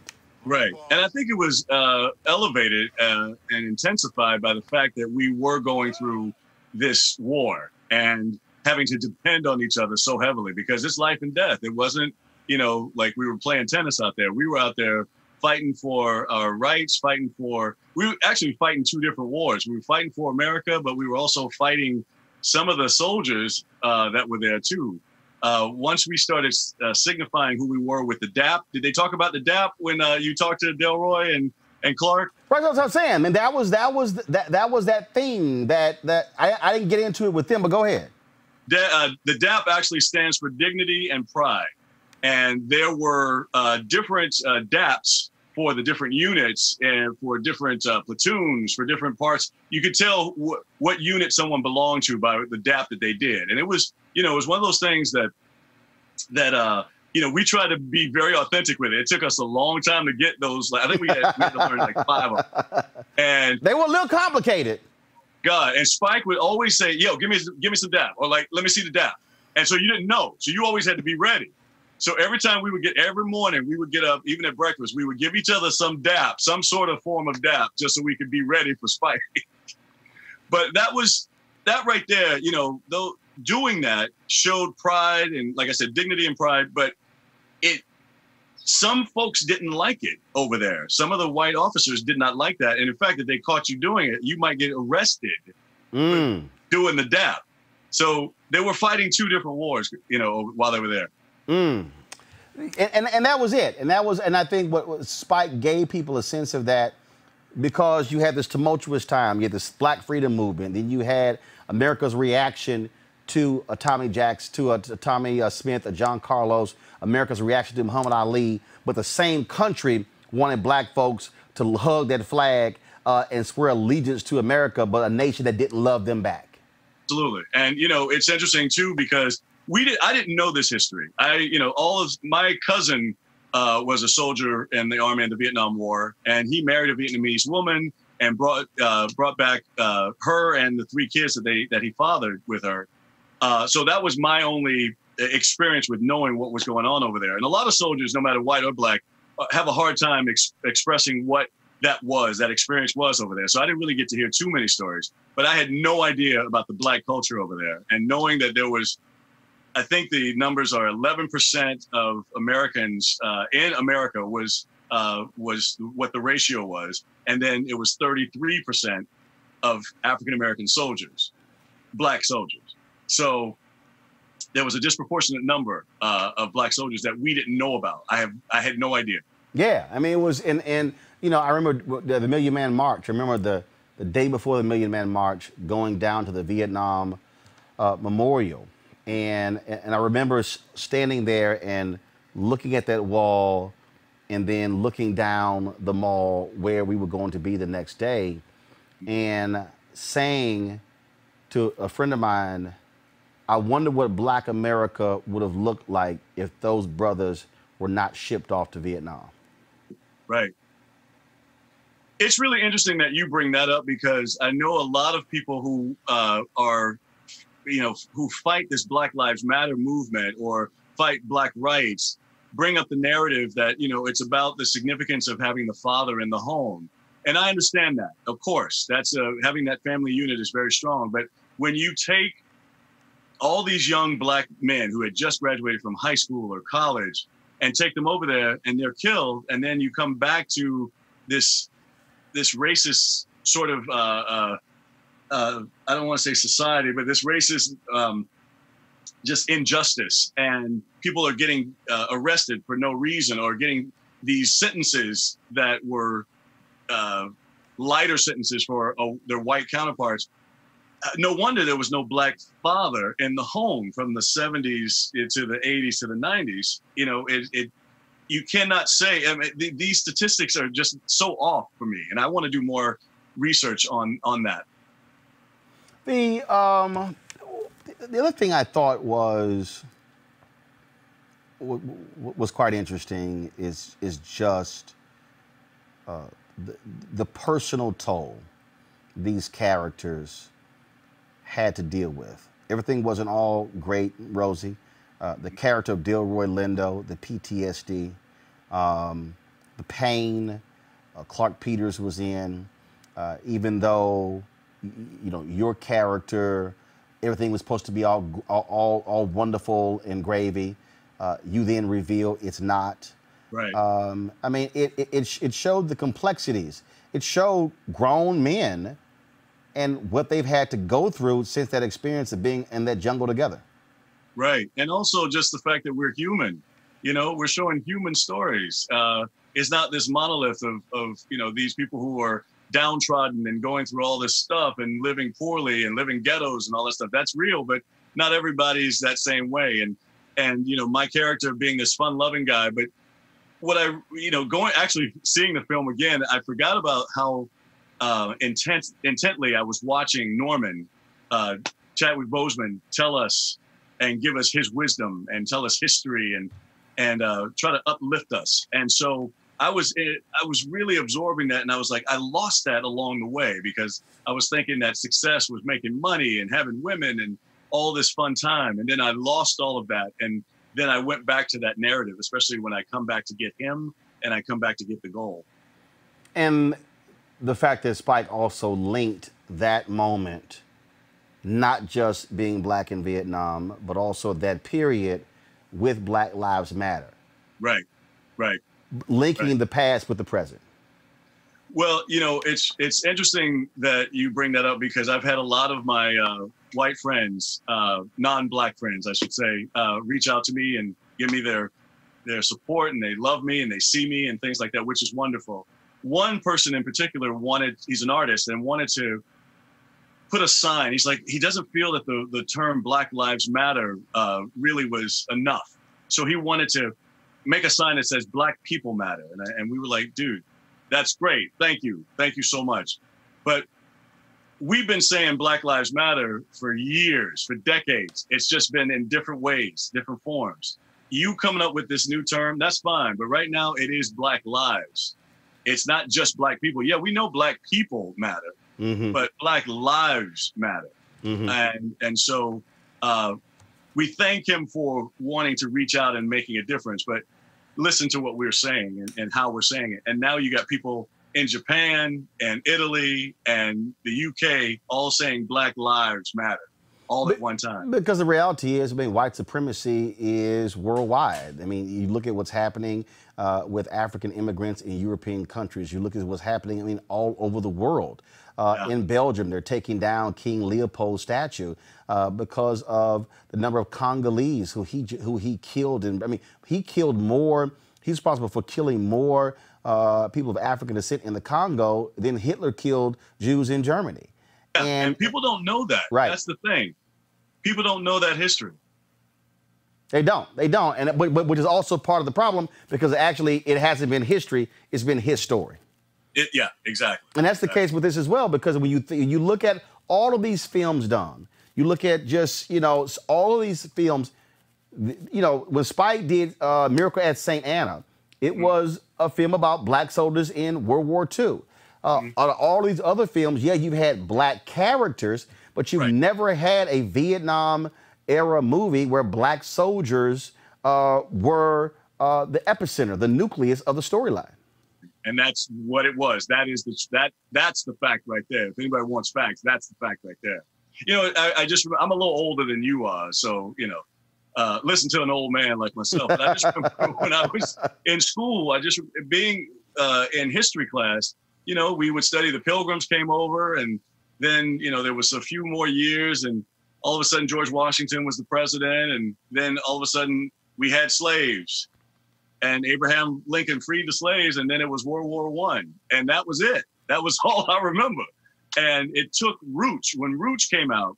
That's when it was like, oh, wait a minute, back up. There was a, there's some stories here, a vast amount of stories, and we need to kind of relive those and, and understand those and teach our kids that, and you know, most of your most of your career has been on the Broadway stage, uh, as opposed to TV or the big screen, uh, and so um, what made you want to do this?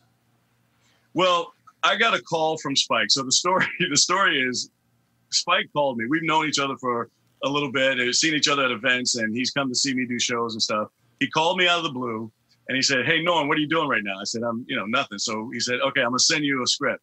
Click. I said, "Okay." So I read the script, And then he called me the next day. He said, "What do you think of it?" I said, "Well, man, it's great. I didn't know. Now, in, in this process, I didn't realize he was going to offer me a role. But he said, "What do you think of the script? It's great. You know, Spike Lee wants to know my opinion. So uh, it's fantastic. I, I, I think these characters are like fleshed out, and it's a departure for you because you know it's it's got a lot of action and gun shooting and things like that." He was like, "Okay, I want to meet you for dinner. Let's go to dinner." I went to Brooklyn. We had dinner. What do you think of the script? What do you think of these characters? Blah blah blah still not knowing anything. And then he said, What do you think about Eddie? I said, Yeah, Eddie, blah, blah. And he said, I want to offer you that role. Now, okay. Wow. I figured that was where it was leading. I just didn't know. Inside, I'm jumping up and down like I'm a little schoolboy, you know, just found out he's on the football team, a basketball team. but you're, but you're, you try to play it cool. Trying to be cool, like, yo, thanks, man. Thank you. I'm, it's an honor to be working with you. so, no reading. You, you, no, no. Did, um, I mean, he. But, we did a reading once we got to right. But, no, but what I mean is, you didn't have to. You have to try out for it. No, and and the thing about it was, you know, and, and I'm so grateful for that. But we had worked together like a few months before. I did. She's got to have it. Okay. And uh, I did a, like an episode of that, so I've had a, a little experience with him uh, as far as working with him, and I think he just remembered that and uh, the experience with that, and uh, also I did Porgy and Bess uh, on Broadway, and he saw it a few times. And I don't know if you realized how pigeon-toed I was in the movie. yes, I did. Yeah, because you talked about it. Yeah. so he saw that I, I was able to be physical, and because in Porgy and Bess, I was I had a, a, a deformed leg, and he I guess that re, he remembered that. And yeah, so- because he figured you walk like he does. Exactly. Spike's my man, so I can mess with him like that. And it's funny you talk about how he offers you the role because that's what Sam and Denzel always talk about. He'll call and be like, "Yeah, so and so, click." They kind of like, did he just hang up? Like he ain't say bye or nothing. Didn't say bye at all. You know, I, I, one of the things I, I brought that up because most people, real a large amount of people, really got to see you uh, through Scandal playing Edison. Yeah. Uh, and man, it drove us crazy because it was like, man, can Edison get some soul? Can he just come on, dog? Don't let that sister just treat you that way. Listen, you know, I it's funny because you know I always my title is yeah I'm the guy that that uh that Olivia Pope kicked to the side, and that's my claim to fame. You know, but uh I loved it. I working with Kerry. Kerry saw me uh, do Porgy and Bess, and then a few weeks later, I ended up getting the role, and she was you know very excited for me, and and I uh, and she even told me a funny story. Her mom, I think, thought, "Wow." because she thought that I was actually crippled in Porgy and Bess. And so she was like, that's so great that they're bringing this handicapped person to play, to That's play funny. your love interest. Um, but when I got on the set, it was uh, amazing to work with her. She set the tone. They were so lucky that, you know, she was lucky she got the role, but they were so lucky to have her. They, she was ready to do whatever they needed her to do. She put in her ideas. The entire set, the entire cast and crew, she knew everyone's name. I, I, I just admired uh, how she did it, what she did, and uh, I'm glad that I got a chance to work with her. So when I did Scandal, I was I when I did Scandal, I was one of the people who was always tweeting. I, I'm the original gladiator, and so whenever there was certain things that happened on the screen, uh, I always love I always loved music. So I will come up with these hashtags, uh, songs for Olivia Pope, songs for Papa Pope, and so I just put the and I realized that I created a hashtag for you. Uh, oh, and it, Lord, it was oh, it was a songs for Edison. Uh, and I guess it was the January 31st episode. It was too funny because I see uh, Sail Away by the Temptations, songs for Edison. Holding on to a dying love, hashtag songs for Edison. Uh, then other people start chiming in. Uh, and, and they start put Hit the Road Jack by Ray Charles, hashtag songs for Edison. Uh, and it was like, uh, I'm trying to see, was there any or any more we dropped out? Uh, and fo- folks were just cracking up, responding to it. And so it was, I was like, come on, dog, come on, come on. She just dismissed the brother. Everybody hating on, on Edison. You know, come on, man. I was the I was the best thing that she ever had. Now, what was interesting was like, why would she go with the president who's married and got like all this stuff around her when she could have, you know, a brother who really wants her and can take care of her. But that's a.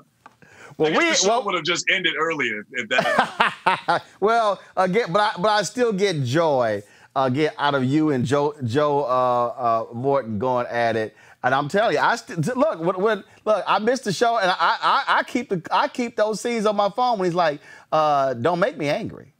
I'm, just, I'm telling you, I, I, I, tell Joe, I said, Joe, you kill that, you kill that, and the, the two of y'all together was just too much. well, listen, let's qualify that. We didn't go at each other. Joe came at me. Yeah, yeah, it was a little fierce. Was a little fierce. Well, you did give him a little pushback. You gave him a little pushback. Gave him a little pushback. This, this, um, do you want to, uh, with this? I mean, obviously, it's airing on Netflix. Uh, we're in a whole different space now in terms of, you know, stuff that's supposed to be on the big screen. They're now driving uh, on digital platforms as well. What else you want to do? Other movies? Other shows? What you want to do?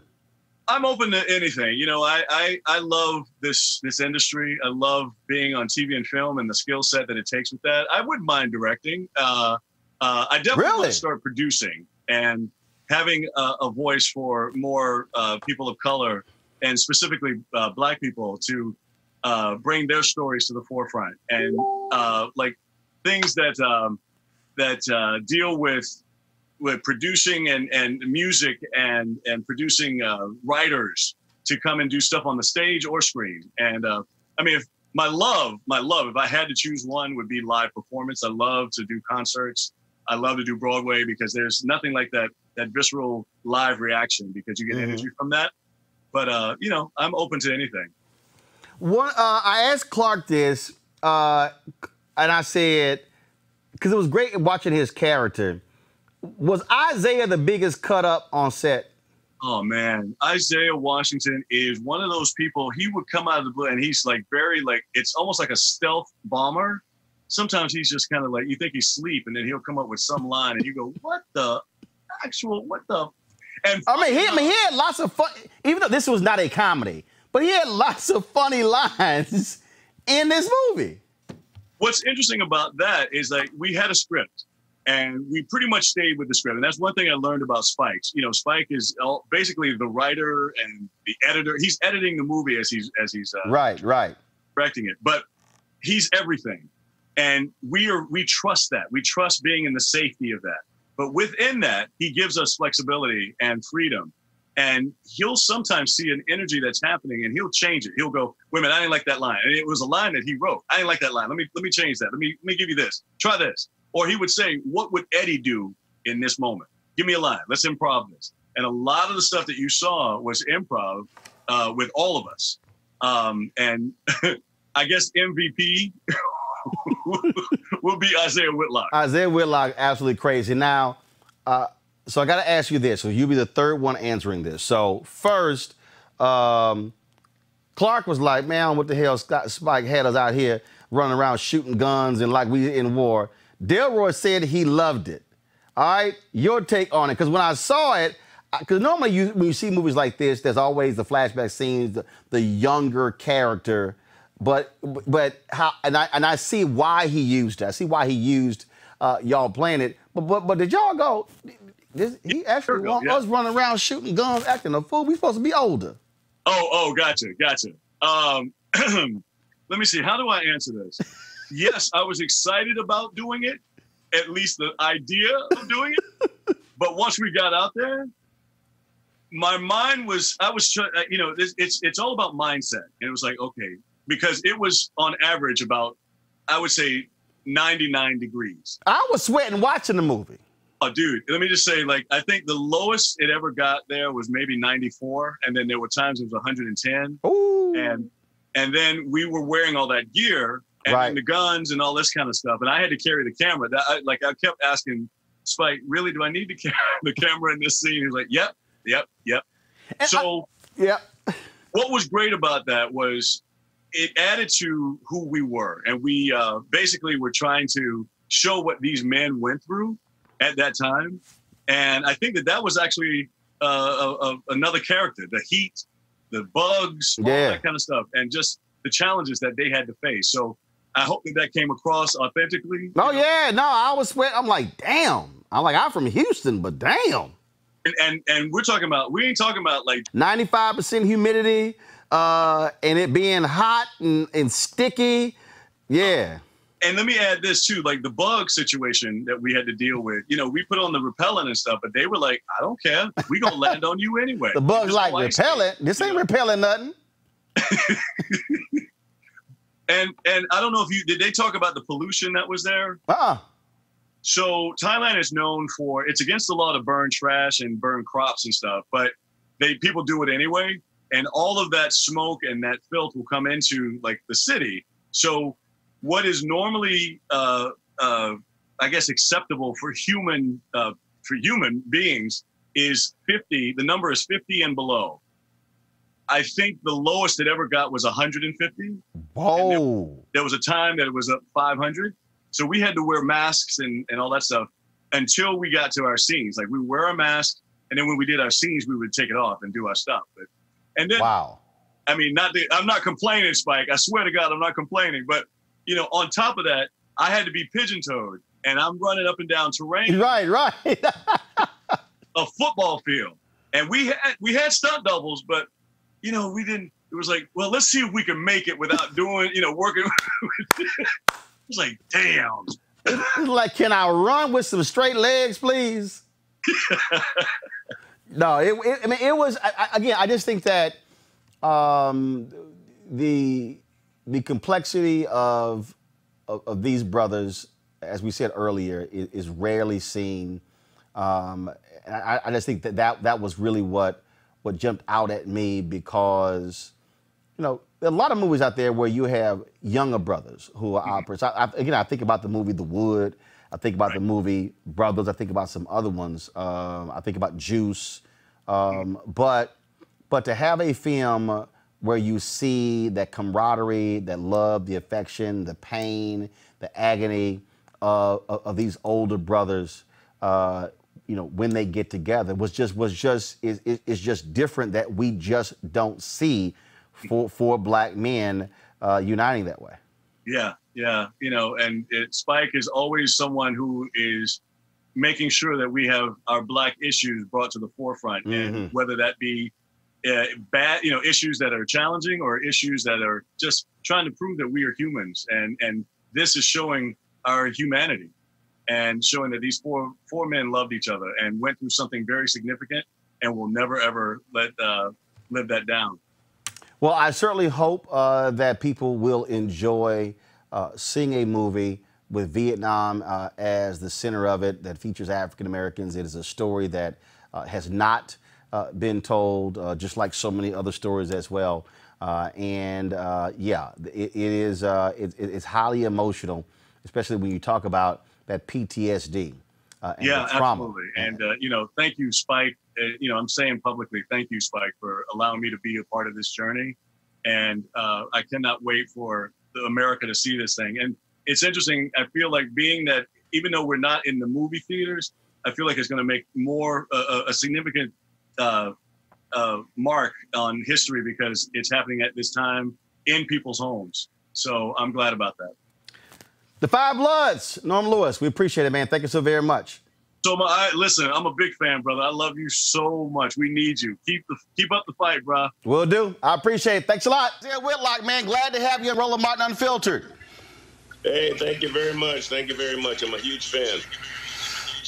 Man, uh, huge fan of your work as well. First of all, obviously, uh, an amazing movie. Uh, at any point that you tell Spike, what the hell you got us out here running around this damn jungle shooting guns? We too old for this.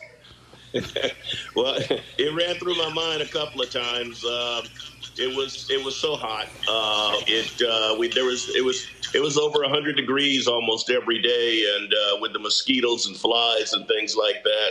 Uh, at my age, I was like, "Ah, I don't know, but uh, but we got through it, and we had a great time. Well, one of the things I think is so amazing, and I've this I've said this to uh, to Delroy, to Clarke, to Norm, and Spike as well. I mean, this movie really is about uh, black brotherhood, old older brothers who are unified by something. And uh, speak to that, just just that brotherhood concept. Well, it, it- a lot of that came out with uh, the DAP. uh, that uh, uh, was very prevalent uh, during the uh, Vietnam War, where the brothers uh, were trying to connect and hold together. Uh, and uh, as you saw in the film, I mean, we did different types of DAP that showed uh, where we had served, what parts of the country we had been in, but it was also a way just to connect. And Spike was very insistent that we got that across. But I have to say, though, that um, after running around in the jungle with those guys uh, and spending the couple of weeks we had for military training and everything like that, we developed a brotherhood amongst ourselves uh, that I, I, feel you could start to feel the brotherhood and the love, and and that uh, went into the film, and uh, we were able to get that point across. It's rare, though, that to see that sort of connection, especially among older black men in movies.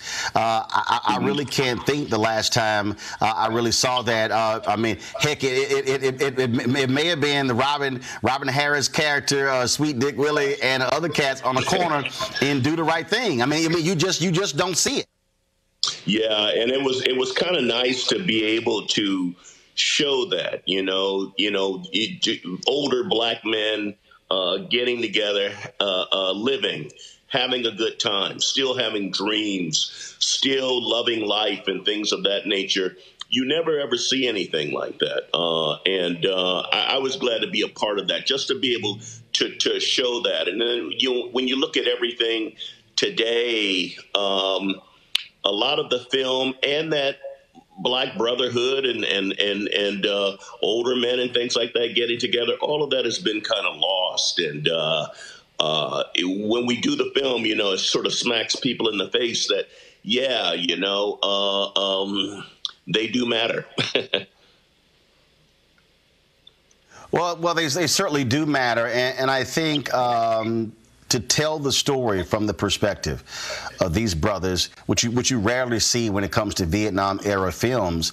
Uh, and it's like it is like so much for African Americans, where all these stories have been told over the years, yet ours yet our particular perspective gets left out, or we're simply a bit player in somebody else's storyline.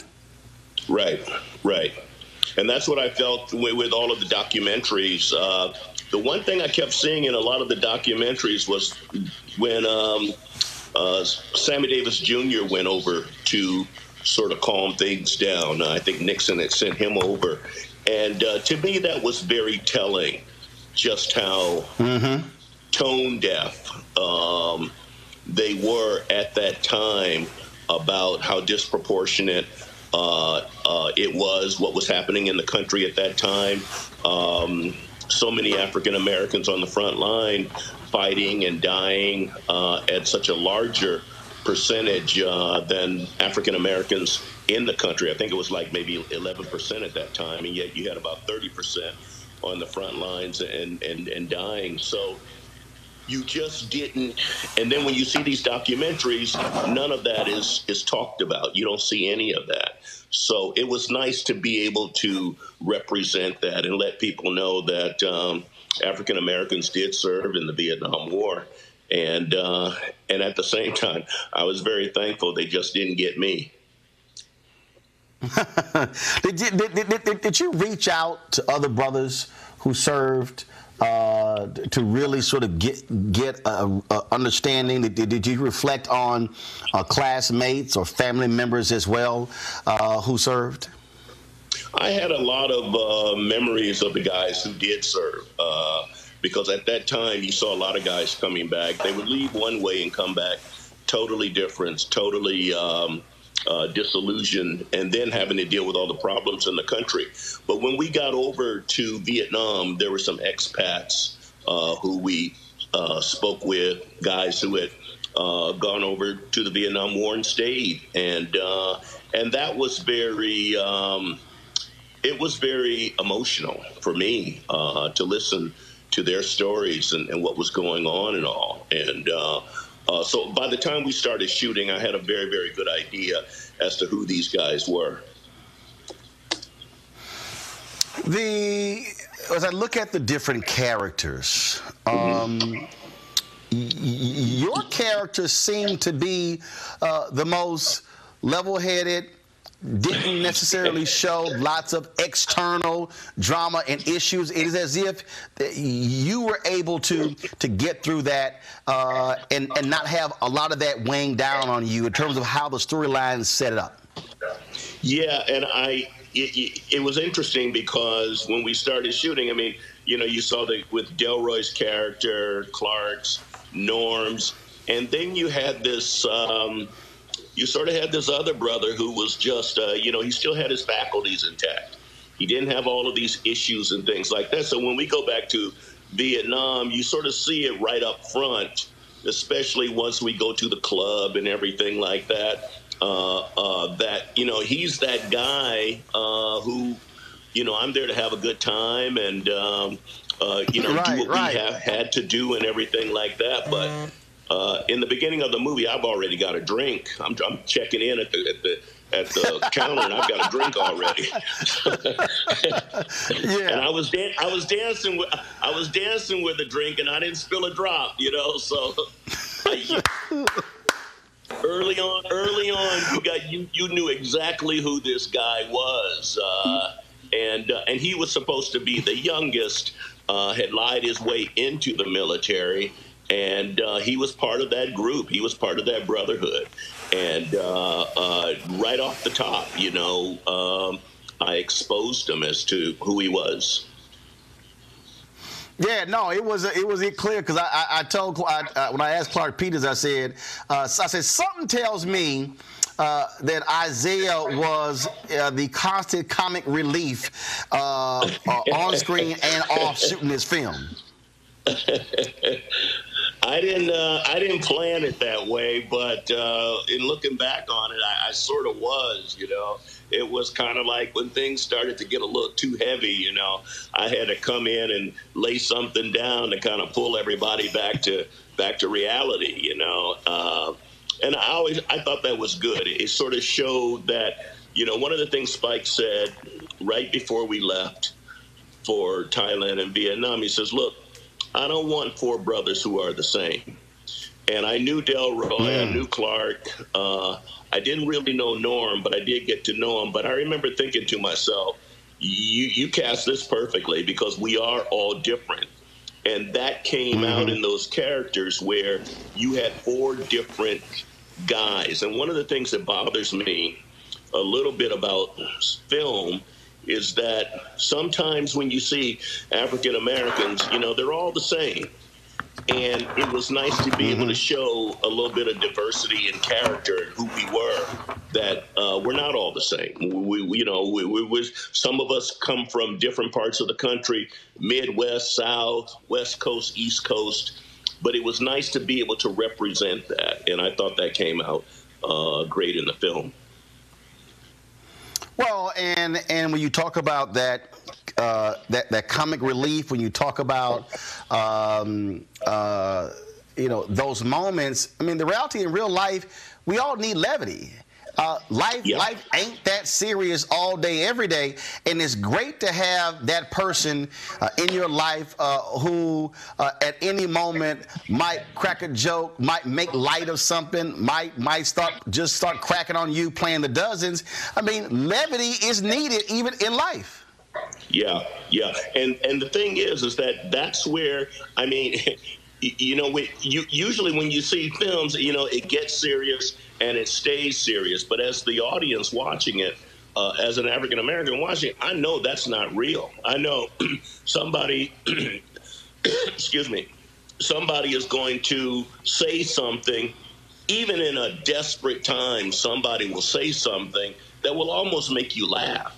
Uh, and um, and and I had those little moments in there where no matter what the situation was, uh, I could always find um, the opposite of that. And to me, that is what life is all about. Uh, absolutely, absolutely. All right, so first of all, I didn't understand where in the world did your signature line "she"? Well, where did that come from? And I, of course, I'm watching the movie going, I know I'm gonna hear it. well, a couple of things. It's, it's, it's things like there. it's like your line. Your line is that damn camera of Spike Lee's uh, that that that like we all waiting for it. We know it's coming.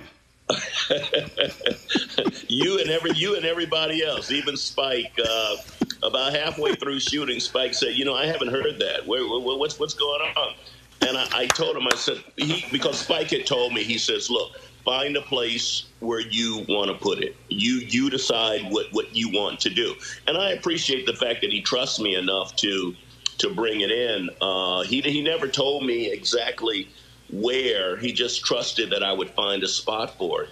And and and I I'm I'm sort of like, well, you know, I I, I don't want to just throw it out there. You know, I want to find Right, that right, one right. spot where the audience is going to agree with me and say, you know, you got a point there. He's not going to give you a million dollars. Shit, you know that kind of a thing.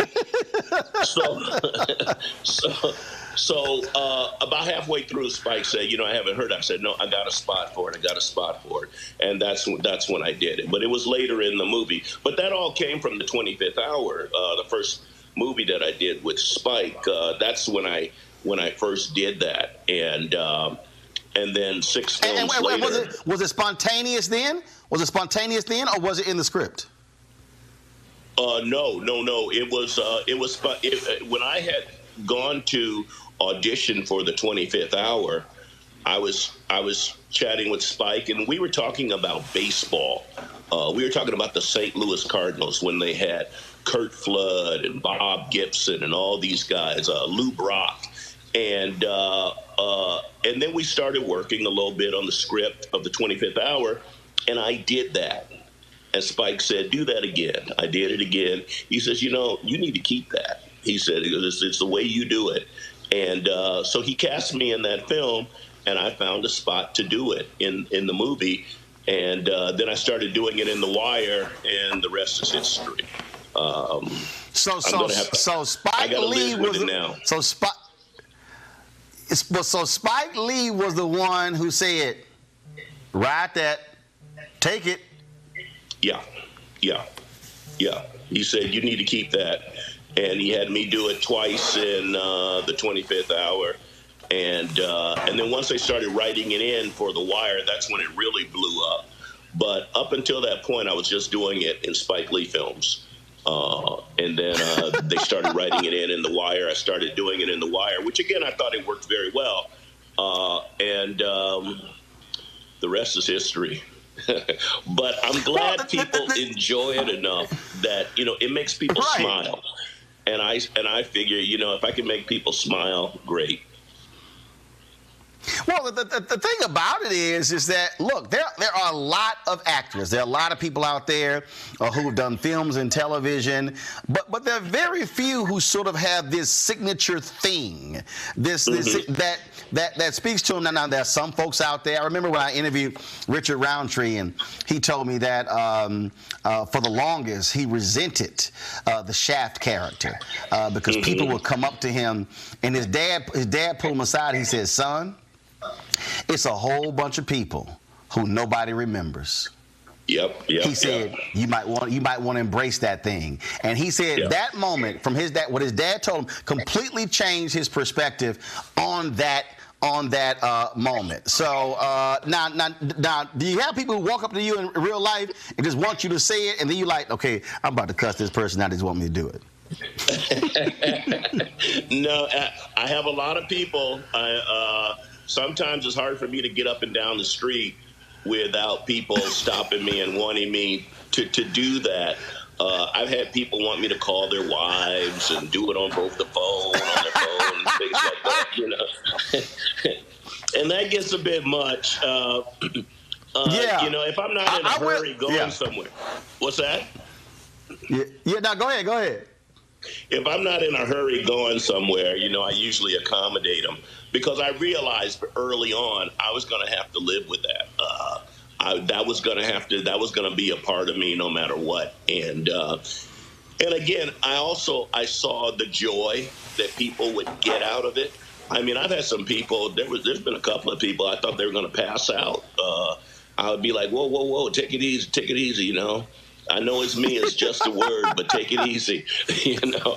But uh, uh, but you know, I, I, embraced it early on because I knew if I didn't embrace it, uh, I mean, I'd be ready to, you know, slip my wrist or something like that because people do it all the time. Well, I, I, I got to agree with you uh, on, on, the phone thing. Um, I, will say that's probably, look, I, will take a million selfies. Uh, I'll speak to people. I'll do all sort of stuff. It, it, it the one thing that uh, does sort of drive me crazy is when somebody will thrust a phone. Hey, can you speak to my mama? Can you speak to my yeah. friend? Can you speak to my wife? Uh, yeah. And and now what I've done is I'll actually take somebody's phone and I'll shoot a video and say, hey, send this to them. That way, you know, I can knock it out, you know, in, in 10 seconds. Uh, yeah. But when they're, when like it's a group and they're like, but hold on, it's, it's, hey man, it's my homeboy. And I was like, what up? yeah. So yeah, yeah that, yeah, that, that, that does know, get a little and different. also in this day of coronavirus, you know, a lot of that's going to have to change. Oh yeah, yeah, no, no, no. Trust me. Uh, uh, if if I, if I start snatching folks' phones, because see, the other thing for me, Isiah, folk folk take too long with these phones. Like, I know. this I ain't know. a photo shoot. I'm not staying there for a minute. So man, I'll be snatching phone, click, hand it right back. So I'm gonna be gloved up uh, once we get back get back out. As you better here, Set your phone. Now stand six feet back, and I'm gonna hold the phone up.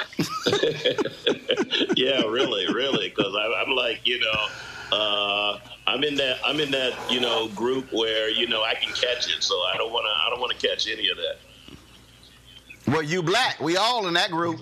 Yeah, you know, yeah, that, that's your underlying condition, you know. yeah, the underlying condition is black. That's what it is. Yeah. Um, yeah.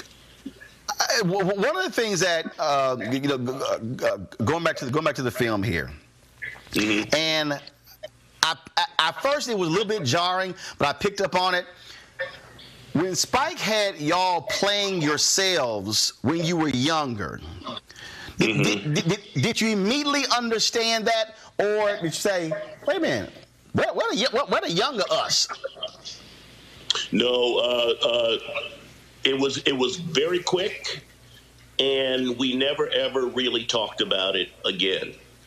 Spike said, no, you're going to play yourselves. And that was it. That was it. Nobody ever gave it much thought. Uh, I really didn't think too much about it until the film came out and people started talking about it. It was never a big issue.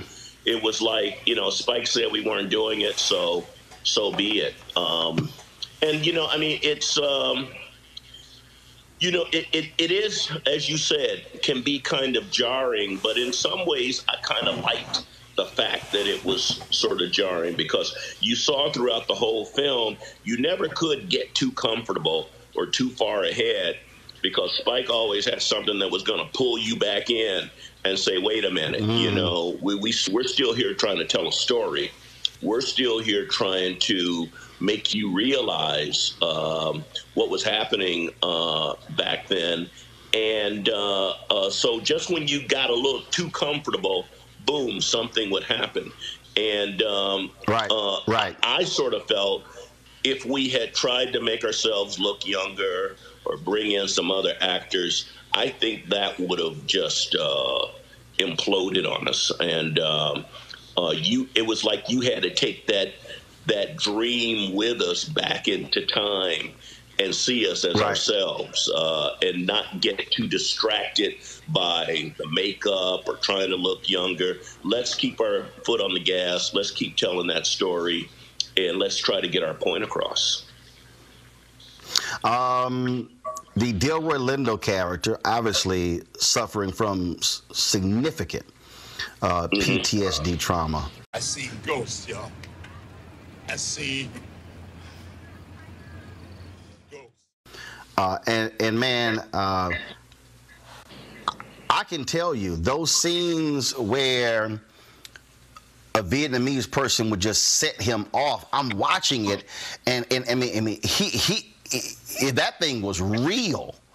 Mm-hmm. Mm-hmm. He he did an amazing job. I mean, you felt that PTSD, that trauma, just watching it. Mm-hmm. Mm-hmm.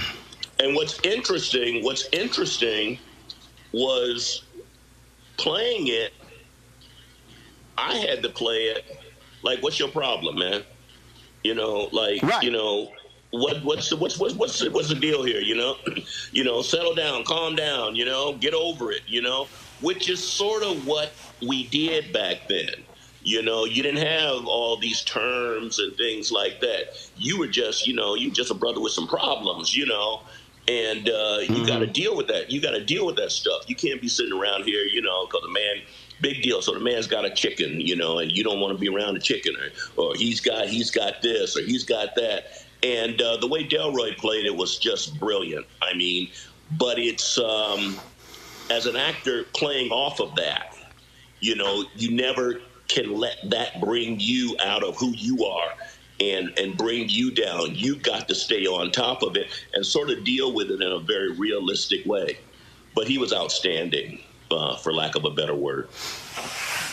I haven't asked uh, the other uh, your uh, fellow castmates this, mm-hmm. um, but from your perspective, what was the what was the one unique or great thing about each of them uh, that that you got to see? So let's let's start first with Clarke Peters. When you say unique thing, as you mean as far as character or person? No, no, no, uh, no. Uh, anything in terms of how they played the role, or just them in real life. Um, that just one thing that that really stood out or struck you about either him, the person, or the character he played, or how he actually went about his work. Anything like that. Yeah, uh, I would say with, with, with Clarke Clarke, it was very. Um, he was he was in a very sort of mellow kind of trance, you know. Uh, uh, he um, uh, he was very smooth about everything, you know, and it was impressive, you know, because I, I, you know, it's. I thought, you know, with all this heat and everything over here, and all these flies and mosquitoes and things like that, uh, uh, that's going to be hard to maintain. But I was, I was, I was impressed the way, you know, uh, Clarke was sort of going to this zen, you know, and you know, he would start to, you know, Spike would say cut, and Clarke would start to meditate, and I was in front of the fan saying, "Man, I got I got to cool down," you know. I can't be out. I can't be out here in this damn heat. No. well, I think well, well, maybe he was doing this. Maybe he was thinking cool thoughts. Yeah, yeah, yeah. He had to be thinking something because I was like, I couldn't get to the fan fast enough. I knew if I sat in front of the fan, the mosquitoes wouldn't come because the wind was too heavy. So and and and you know then then Spike would say, "Okay, let's go," and it's like, "Okay, yeah, let's go," because we were always ready to go because we had to just get the hell out of there, especially before the sun got overhead. Uh, and um, uh, Norm was Norm Norm was cool. He, he was he was he was cool. Uh, he had to. Um, uh, you know, get the stuff down with the pigeon toed and everything like that. So, so he had his thing that he was working working with, and and and, and Delroy, uh, I mean, I mean, that PTSD, uh, I don't want to say it, it it transferred off screen, but he was in the moment and stayed in the moment also. You know, uh, they were they were very very they were very all of the actors were just very disciplined, and that was it, it's hard to say, but I think when you have that kind of discipline, and I think Spike really knew that if I get, I know these guys, I've worked with these guys, I know how disciplined they are. So when we get over there, no matter what, they're going to pretty much do what they have to do. I'm not going to have to sit around and worry about them, and uh, and that's pretty much what you got. Uh, uh, and even with my character, how, how, is is Right. Yeah. You go, ahead, go ahead, go ahead. Go ahead. and finish. Go ahead. No, go ahead. No, I was saying, even, my, even, with my, character. character, it was it. There was a discipline to not get bogged down because all of that other stuff can kind of rub off on you. Whereas, uh, right. Uh, with, I've got to make sure that I don't get bogged down, except for when I have to be here and there. How did you get the role? Um, Because it seems as if Spike just pre-selected every one of you. Yeah, uh, he pretty much did. Spike knew exactly who he wanted. He knew exactly what you were going to do, and uh, uh, he called me up. He, he, he asked me what I was doing. I told him I was doing. I was across the street doing my laundry. Uh, just get ready to put my clothes in the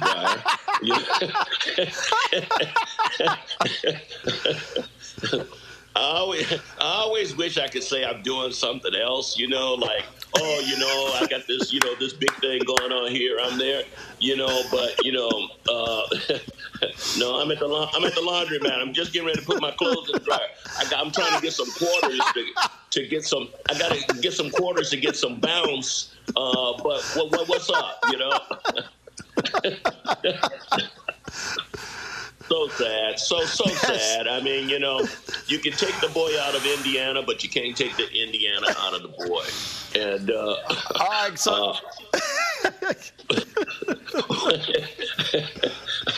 but uh, that's uh, you know, he called me up. He started telling me about this uh, this uh, movie that he was making. I told him, you know, I said, look, you know, I'm, I'm leaving for Japan, but uh, uh, I was just going to Japan just to visit some friends. And I said, I'll read it on the plane and, and get back to you. Well, I did read it on the plane, and, and I think I called him from the airport and said, you know, this is fantastic. And uh, uh, and that's uh, he said, you know, I want you to play Melvin. And I said, okay, you know, I'm I'm I'm ready to go. I'll be ready. Um, that, that, that that's I was doing laundry. That okay, I was not expecting that one. Uh, I know, Clarke did know, want me to ask you, you, but it's it's typical, you know. Uh, I always say, you know, why do why do my well, why does why does my shit always got to be raggedy, you know? But uh, uh,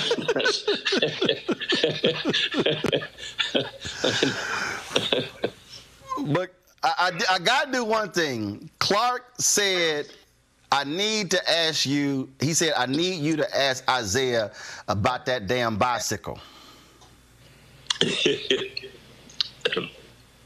that goes back to me doing my laundry. Uh, when we were when we were in Baltimore, everybody had a car. Driving uh-huh. around Baltimore to the set, I had a bicycle. and it always seemed whenever I was on the bicycle, I would run into Clarke on that. I would run into Clarke on the bicycle. Clarke would be in a car. I would be on the bicycle. One time I fell on the bicycle. I heard a horn honking, and it was Clarke. so fast forward about it, this had to be maybe like six, seven months later. I was in New York City, and I heard the car honk, and it was Clarke, and I was on a bicycle, and so he's he's been giving me shit about that every. That's what he means. So he's always teasing me. You know, he thought I he thought I was going to have a bicycle in the jungle, and I said no, I, I left the bicycle so wait a minute. So y- y'all bumped into each other in New York, and you happen to be on a bicycle, and he's in a car. Yes, yes, yes, yeah. He's in a car, and, and, and he just laughed because he he always he always gave me shit about being on that bicycle down in Baltimore, especially when I fell on it. And he was, it seemed like he was right there. And he said, Why don't you just get a car? I said, No, no, man, I got this bicycle. I got this bicycle. And uh, and then about a, you know six months to a year later, I'm in New York City. I'm on a bicycle. I hadn't even used a bicycle since then. But I got on that bicycle, that, and there's Clarke. like he was waiting for absolutely. Me.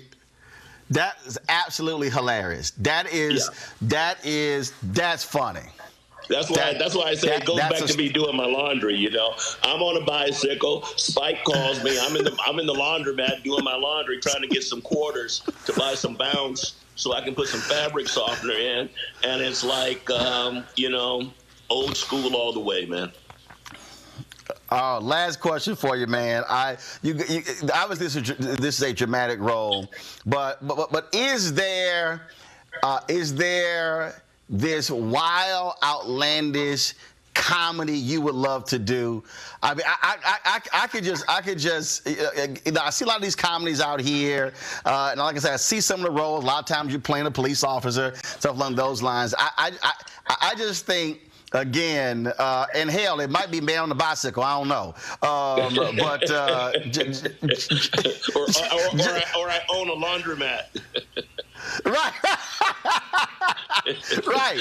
Uh, anything like that in your future? Uh, you know, I, I, I, I, never know. I never know. Um, one of the things I really just enjoy doing, I enjoy doing all of these different characters. And, and I got to say, I never try to make them, you know, funny or anything like that. But I think the humor sometimes comes out of the reality of a situation or right, or right. a moment. Uh, because I always, you know, used to think of myself as being a very serious guy. But I think the more serious you get, the funnier you get. So, um, yep. um, I just enjoy playing, you know, a variety of different characters, and that's one of the things I really love about it. All right. Well, I look, I, I can I can only envision, yeah, all of a sudden, yeah, a movie where you're the owner of a laundromat and dealing with some badass kids uh, who coming up in there and all kind of stuff. Uh, to me, it, it would it would be 24/7 uh, uh, comedy. Yeah, well, you know, I own a laundromat and I have a bicycle that I deliver other people's laundry uh, in New York City. we might be on. We might be on I'm, to something. Have to call some, I'm gonna have to call some of my friends who are comedy directors and run that by them. Tim Story, uh, Reggie Hudlin, let's holler at you. There you go. Isiah. I will do that. Isiah Whitlock, man, is great. It's a great uh, to chat with you again. The 5 Bloods was an absolutely fabulous film. I hope people check it out. Uh, and, and, and, and, it really was, man, intense and great to see uh, the four of you do your thing on screen. Thank you. Yeah, it was. Uh, it's a, you know, I think the film was just fantastic, and and with all the hard work and everything that we put in, it really paid off. All right. Man, you take care and uh, stay the hell out those laundromats. All righty, man. You take care. All right, have a good one. Delroy, we finally get to talk. We met at the National African American Museum uh, a couple of years ago. We finally uh, get to chat. Indeed. Here we are. Man, let's, uh, first of all, um, unbelievable uh, role in this film. Uh, first time you and Spike connected in 25 years. Did you tell Spike, by damn time? No, no, no, no, no. I mean, I was, you know, what I've been saying, Roland, is, um, um, uh, you know, if I had to wait 25 years to work with Spike after Clockers back in 1996, uh, this was a good one to wait for. This was um, one of the things that I uh, that was just amazing about this film, and it's something that you rarely see in movies. I mean, this really was about black manhood, brotherhood. Uh, that's what jumps Amen. out. I think about the Wood. I think about the brothers. There are some movies that it's it's really about, but but that's what, what spoke the loudest as I watched this film. And the fact that it's set in the context of the, of, of the Vietnam War and that these are these are Vietnam vets uh, is another uh, component that makes this a particular kind of a film. Because as you well know, um, black contributions to Vietnam, World War II conflict um, are either marginalized traditionally, and just in terms of the entertainment industry, stories that are told, uh, they're either marginalized or expurgated altogether. So here we have this film in which we are front and center, and that separates this film um, uh, further from a lot of war films that one has seen in the past. But the fact that you pick up on the fact that because for me personally, I think it's a love story mm-hmm. Um, mm-hmm. between these men, and the fact that you picked up on that is is important, is critical because that component um, is um, essential um, to to the manner in which these men are presented, and um, so I'm glad you picked up on that. And what one of the things that also was different for black soldiers, look, my uncle served in Vietnam, is that here they were even during that period, fighting for their country, and the country was fighting against them. You had brothers and sisters who were at home trying to fight for rights, uh, and how Spike was able to fuse that together. So you in Vietnam and Mexico City and Tommie Smith and John Carlos and civil rights movement, all these things going. So for black soldiers, that was a conflicted time. Black GI in Memphis, Tennessee. a white man assassinated Dr. Martin Luther King. Dr. King also opposed the U.S. war in Vietnam. Black GI, your government sent 600,000 troops to crush the rebellion. Your soul sister and soul brothers are enraged in over 122 cities. They kill them while you fight against us, so far away from where you are needed. It was uh, profoundly conflicted. I mean, I have two cousins who were uh, who are Vietnam vets, and one of my cousins in particular talks about the betrayal that he felt coming back after having been drafted at 19 years old and coming back and feeling like he was the problem, being called a baby murderer, etc. And so um, uh, we cannot underestimate the damage that that did psychologically and emotionally to a lot of vets, and certainly the black and brown vets. And that's even before you talk about or start to consider the impact of PTSD, which is a whole other reality in and of itself, as you know. I see ghosts, y'all. I see ghosts. What happens to all of us, man? Have you seen them too? Yeah. Huh? Dad come to you at night. Huh? Stormin' Norm comes to me damn near every night. Now he talked to yo like he talked to me. Come on. I don't think so. One, what, what also I thought was was amazing, and, and I think one of the things that I guess for me, the reason it hits a little bit different, being a life member of Alpha Phi Alpha Fraternity Incorporated, we have brotherhoods. You have that sort of that connection, that bond that is separate from other brothers you may know. I, what I really loved was no matter what happened with the friction, with the fi- that, that the infighting that may happen, y'all were forced to put those hands in the center to say, look, set it aside. We still bros. I don't think they were forced. I'll take it. I don't think they were forced. I think that that our putting our hands together in that circle in the scenes in the film that we do is an organic manif- is it's an organic manifestation of, of the love that we feel for each other. Right. Sometimes despite ourselves. What I mean by forced is that that I'll use the word for that force. Yeah. Causes you to say, look, we can argue, we can fight, we can go at it, but at the end, there is still a brotherhood that that that that rises above whatever personal issues we might have. And that brotherhood is larger than all of us. Right, right. And that's another component uh, of this film that I'm really proud of because uh, maybe I'm repeating myself. This is a love story.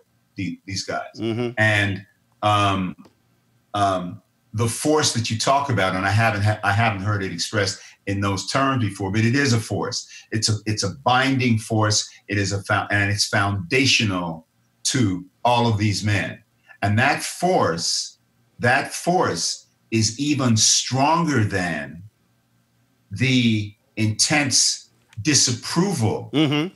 that my brothers have around the vote that I cast in 2016. I don't want to give it away to your uh, to right. audiences, but there is this um, um, real schism between these men based on the politics that my character Paul exhibits compared to the politics of my brethren.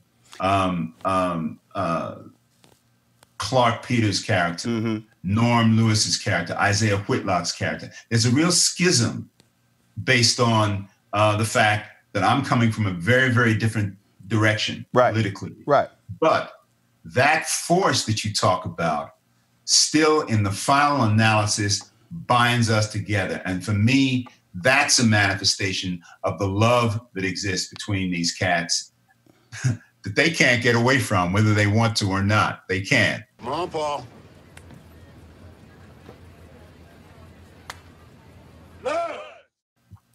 Your character is suffering from PTSD, and one of the things that that, that, that it also illuminates is the difficulty that black men, first of all, men, period, but definitely black men, have in talking about issues they're facing. One of the other characters is having financial issues, and as I'm watching it, it, it speaks to his it, this this just this inability for us to even with our boys, even with the folks we're close with, to be able to unload that burden and share it with somebody, and we carry it around, and it tears up a whole lot of brothers. It tears up a whole lot of brothers, and I want to say this. Um, as the parent of a soon to be 19 year old African American man child, I want to say this. It's it's it, it it's not an inability. This may sound like semantics, but it is a lack of ability mm. to do that. Mm. Inability suggests, and this may be semantics, Roland. I got you. I got you. I know where you're going. Go um, ahead. Inability suggests a component that is missing, right? Lack of ability suggests the component is there, but you don't know how to utilize it. Right. Right. So I really want to make that distinction just because you know what? I will tell you as a father. First of all, uh, well, I'll say this as a father. Sometimes all I can do to communicate with my son is to hug him. Mm. That's all I can do sometimes because the words either do not suffice or I don't have the words.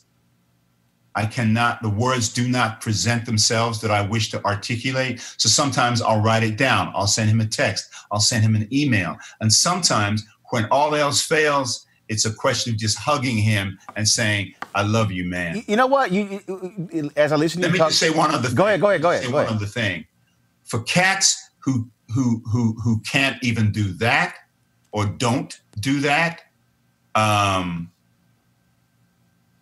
you know i have that to lean on in Mm-hmm. the final analysis and you know sometimes i'll hug my son and you know most of the time he will hug me back Mm-hmm. but sometimes it's like dad come on now Right. Right. Right. you know um so i just want to make the distinction between inability versus lack of ability Well, it was interesting you talk about hugging because for me, I have a I have nine nieces, I have four nephews, Mhm. and the way I roll is this here. When I go back home, my folks are mostly in Texas. When I walk into the house, I don't give a damn what y'all doing. You are going to come and hug me. Come on. Now, the other thing is this here, and again, I know some people may say, dang, Roland, you watch movies a little bit differently.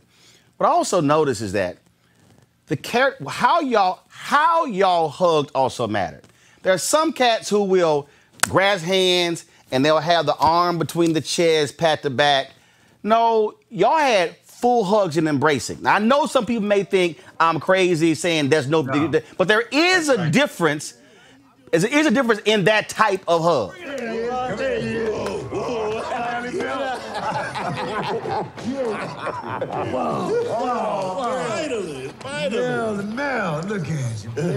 No question. No question. Look, look. Um, this the making of this work was special on a whole bunch of levels.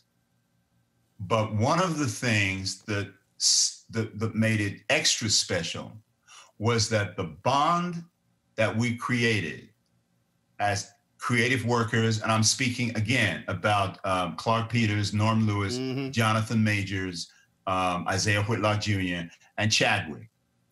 Um, the bond that we created that was completely organic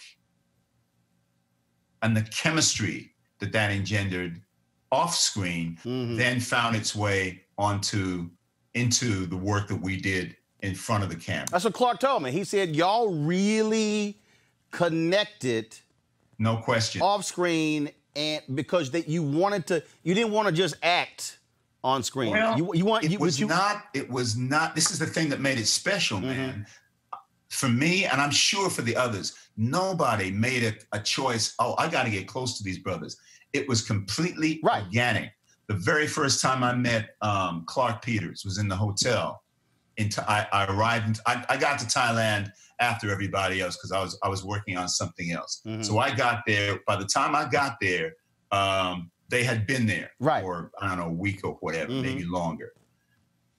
Clarke and I met for the first time at at breakfast in the hotel, and the connection was like that. He didn't decide anything. I didn't decide anything. We just, and the same is true for the other brothers. Um, I had a, I had a couple of conversations with um, Jonathan. I did not know Jonathan um, prior to working on this film, but we had a couple of after we met for for dinner one night. Spike, myself, Isiah, and Jonathan, um, and we had a dinner that I had to leave very quickly because I had to work at 5 a.m. the next morning. But my point is this: as a result of having that dinner, then Jonathan and I, um, he sent me a couple texts. He hit me up with a couple texts, and we talked on the phone. That was the extent of the the the, the, the connection prior to getting to Thailand. When we got to Thailand, similarly, we just connected. We just um, And for the folks who are watching, Jo- Conversation. Jonathan plays your son uh, in, in the movie. And I'll tell you, Delroy, I, I, you know, Spike went to make this soon after he wins the Oscar. And so I he knew, the following morning. Right. And I knew, left the ceremony and got on the plane and came to Thai- and went to Thailand. and I knew it was the story of these brothers who served uh, in Vietnam. But I, I did think it was it was a very interesting twist having the son, because because what it also allowed, I think, for the audience to have to deal with is the pain the children of Vietnam vets had to deal with, and not really understanding what those brothers went through in Vietnam. And so you have these people who have who are upset. I mean, my dad, in you know, in, Clarke Peterson's character, in terms of uh, you know a child, all those different things, and people don't don't really want to understand how hard it was for those men serving in Vietnam, and you're trying to come back and be a father, and that what that shit wasn't easy.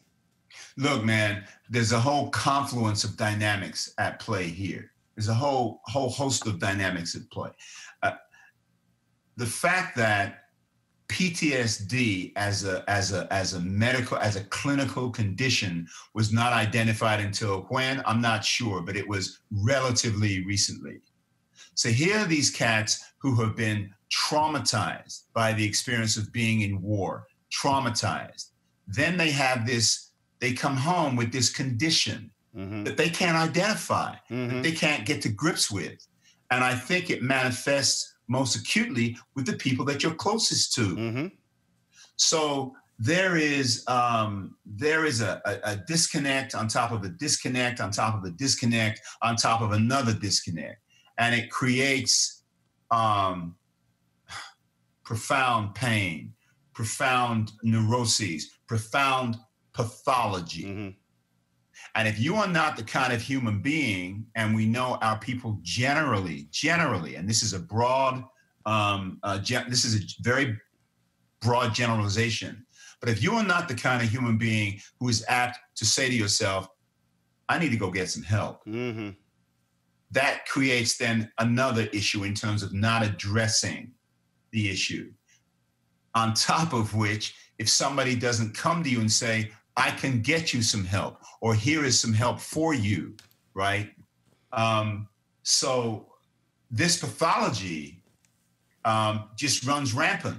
It just runs rampant. These various pathologies just run rampant throughout um, these lives. And although and um, in prepping to do this film, um, the first two people that I spoke with were two cousins of mine, both of whom uh, were in Nam, both of whom struggled with uh, PTSD. One of my cousins in particular continues to struggle with PTSD. And they gave me a wealth of information, a wealth of knowledge um, about the condition. If you add to that the kind of pain that exists when you can't get close to your child, the kind of pain when you can't get close to your child in the way that you feel you want to get close to your child. And add to that the cult, just culturally the rejection that these men suffered, you have a recipe for disaster. And that is what we have seen played out over and over and over and over and over and over again with our Vietnam vets, Afghanistan, Iraq. Um, you know, the last person that I spoke, I, I spoke with a number of vets, uh, Roland. Uh, the first two were my cousins, and then I spoke with a number of Vietnam vets. Mm-hmm. And the last person that I, all of whom gave me wonderful uh, information uh, in terms of educating me, um, informing me about the experience of Nam and, and specifically in the case of my cousins, PTSD. Then the last person that I spoke with uh, is a retired major, a female African American uh, lady who retired um, as a major from the military, and she was an Iraq vet. She spoke with me at length about her um, uh, experiences, uh, specifically with PTSD. Um, so I had a wealth of, of, of, of knowledge. Knowledge is not the correct, correct word. I had a wealth of information Mm-hmm. that I had, that I had gathered, that I now had to attempt to start putting, um, infusing into my creation of Paul. But I'm saying all of that to say this there are so many unanswered questions, so many unanswered conditions that one is grappling with. And that's what creates the pathology. Well, and I think as even though we were talking about war, as I think about what's happening right now in this country, the George Floyd video, Breonna Taylor, Ahmaud Arbery, and we can go on and on and on, black folks are dealing with this life of trauma in terms of what we have to experience. Uh, And you know what? Paul, uh, um, uh, uh, Spike just said something, added something to that. Post-slavery stress syndrome. I mean, look at Chicago. 18 people were killed the other day, the most in 60 years. If you, black youth and adults in Chicago are dealing with th- that level of trauma every day, not just shootings, but economic violence, physical violence, what's happening in the community. And again, people go, oh, get over it, but you can't get over something unless you you've got you've got to work through this thing. Just like a, like a soldier can't just get over it, whatever that experience was. Listen, you, you, a you can't just get over it, um, and I want to stress, and again, you know this clearly, that it's not just a question of us getting over it. It is a question of the other folk acknowledging our humanity, acknowledging us in our humanity. And that is a huge component that has been missing, that continues to be missing. And that lack of willingness to acknowledge us as human beings in our humanity is um, the direct one of the de- the direct reasons why we're in the situation that we're having the kind of turmoil that we're having right now and that lack of acknowledgement of our humanity as you well know is historical right that is 400 plus years in the making um, so folk can say to us you know get over it and certainly we have a there is work for us to do as people of color, as African descended people. There is plenty of work for us to do in terms of um, addressing ourselves and addressing our pathology. Um, but there is the, the, pathology, the pathology of racism and how that impacts people of color. I would, excuse me, I would say to those other folks that um, there's work for you all to do. There's a lot of work for you all to do. And acknowledging, looking at this tradition of lack of willingness to accept us in our humanity is a major, major, major piece of the pathology of racism that we are subjected to, that they should also take responsibility for and do the work and begin to do the work necessary to, I'm not going to say correct it, but to do the work necessary to address it. Mm-hmm. Nor- normally in movies where you have flashbacks, you typically will have the younger actors and then you're playing yourselves. I asked Clarke this. Did y'all say, Spike, what the hell you got us running around here, man, with these guns and all this shooting stuff? I don't know specifically what Clarke said, but I'll tell you this. Clarke, but, but, but what Clarke said was, he said, I got bad knees. I was like, I can't be doing all this damn running. yeah, but guess what? Here's it, it, did he say that for real? Yes. Really, what he said? Okay. Yes. Here's here's the other piece of that. We did the work. We did it because for me personally, when I read those flashback scenes in the script, and I saw um, that we would not be de-aged, that we would be uh, in those scenes with Chadwick as the as as we look right now. Mm-hmm. Uh, it made sense to me reading it, it did not jar me. I didn't say, oh, wow, how's this going to work? No, it made sense to me. And for me personally, filming those scenes also made sense. And the process for me was this. We, first of all, Chadwick did not arrive in Thailand until probably four or five weeks after uh, we had been working. Mm-hmm. And we had spent those four or five weeks talking about Norm talking about what he meant to us, discussing the impact, um, his impact on our lives and what that meant. So when Chadwick arrived and we were now filming those scenes, for me, it made total sense that we were now reliving those moments mm-hmm. as our present day selves. Mm-hmm. And for me, there was no um, breakage in my ability to play the truth of those scenes the way I look right now. And I don't think um, Clarke, uh, bad knees and all. I have bad knees, man. My knees ain't as bad as Clarke's, but um, but but I'll but I'll say this. I'll say this. Um, I don't think he's giving giving himself enough credit because Mm-hmm. Clarke Peters, Isiah um, Whitlock, uh, Norm Lewis, we all applied ourselves to those flashback scenes fully. And I'll say one other thing before before I have to leave. Um, one of the scenes we were doing in which I got to, I was in one part of the scene and they were in another part of the scene, and I got to watch them um, um, as they were firing those guns and, and running through the underbrush. Uh, and these were not doubles. I got to watch Norm Lewis, Clarke Peters, and Isiah Whitlock Jr. run through that bush. And it moved me, man. It moved. It was very, very moving. Um, because those cats, they were applying themselves to the work in the way that the work need to be applied to, the, in the way that the work needed to be done. They did it. So I don't think um, Clarke is giving himself enough credit. Um, I have to. I have to go, man. My next. My next. Uh, I understand. I've, lo- here. I've long. I'm glad we got to do this, and um, God bless. And without, I know you have a very large audience. I want everybody to see this film. I want everybody to see this film, black, white, pink, whomever, because it is such a presentation of these men in their humanity. And I hope that that, in turn, by extension, creates a wider acknowledgement and acceptance of these men in their humanity, and by extension, people of color all over the world in their humanity. Okay? Dear Rolando, I appreciate it. Thanks a lot. God bless. Take care. Take care. God bless.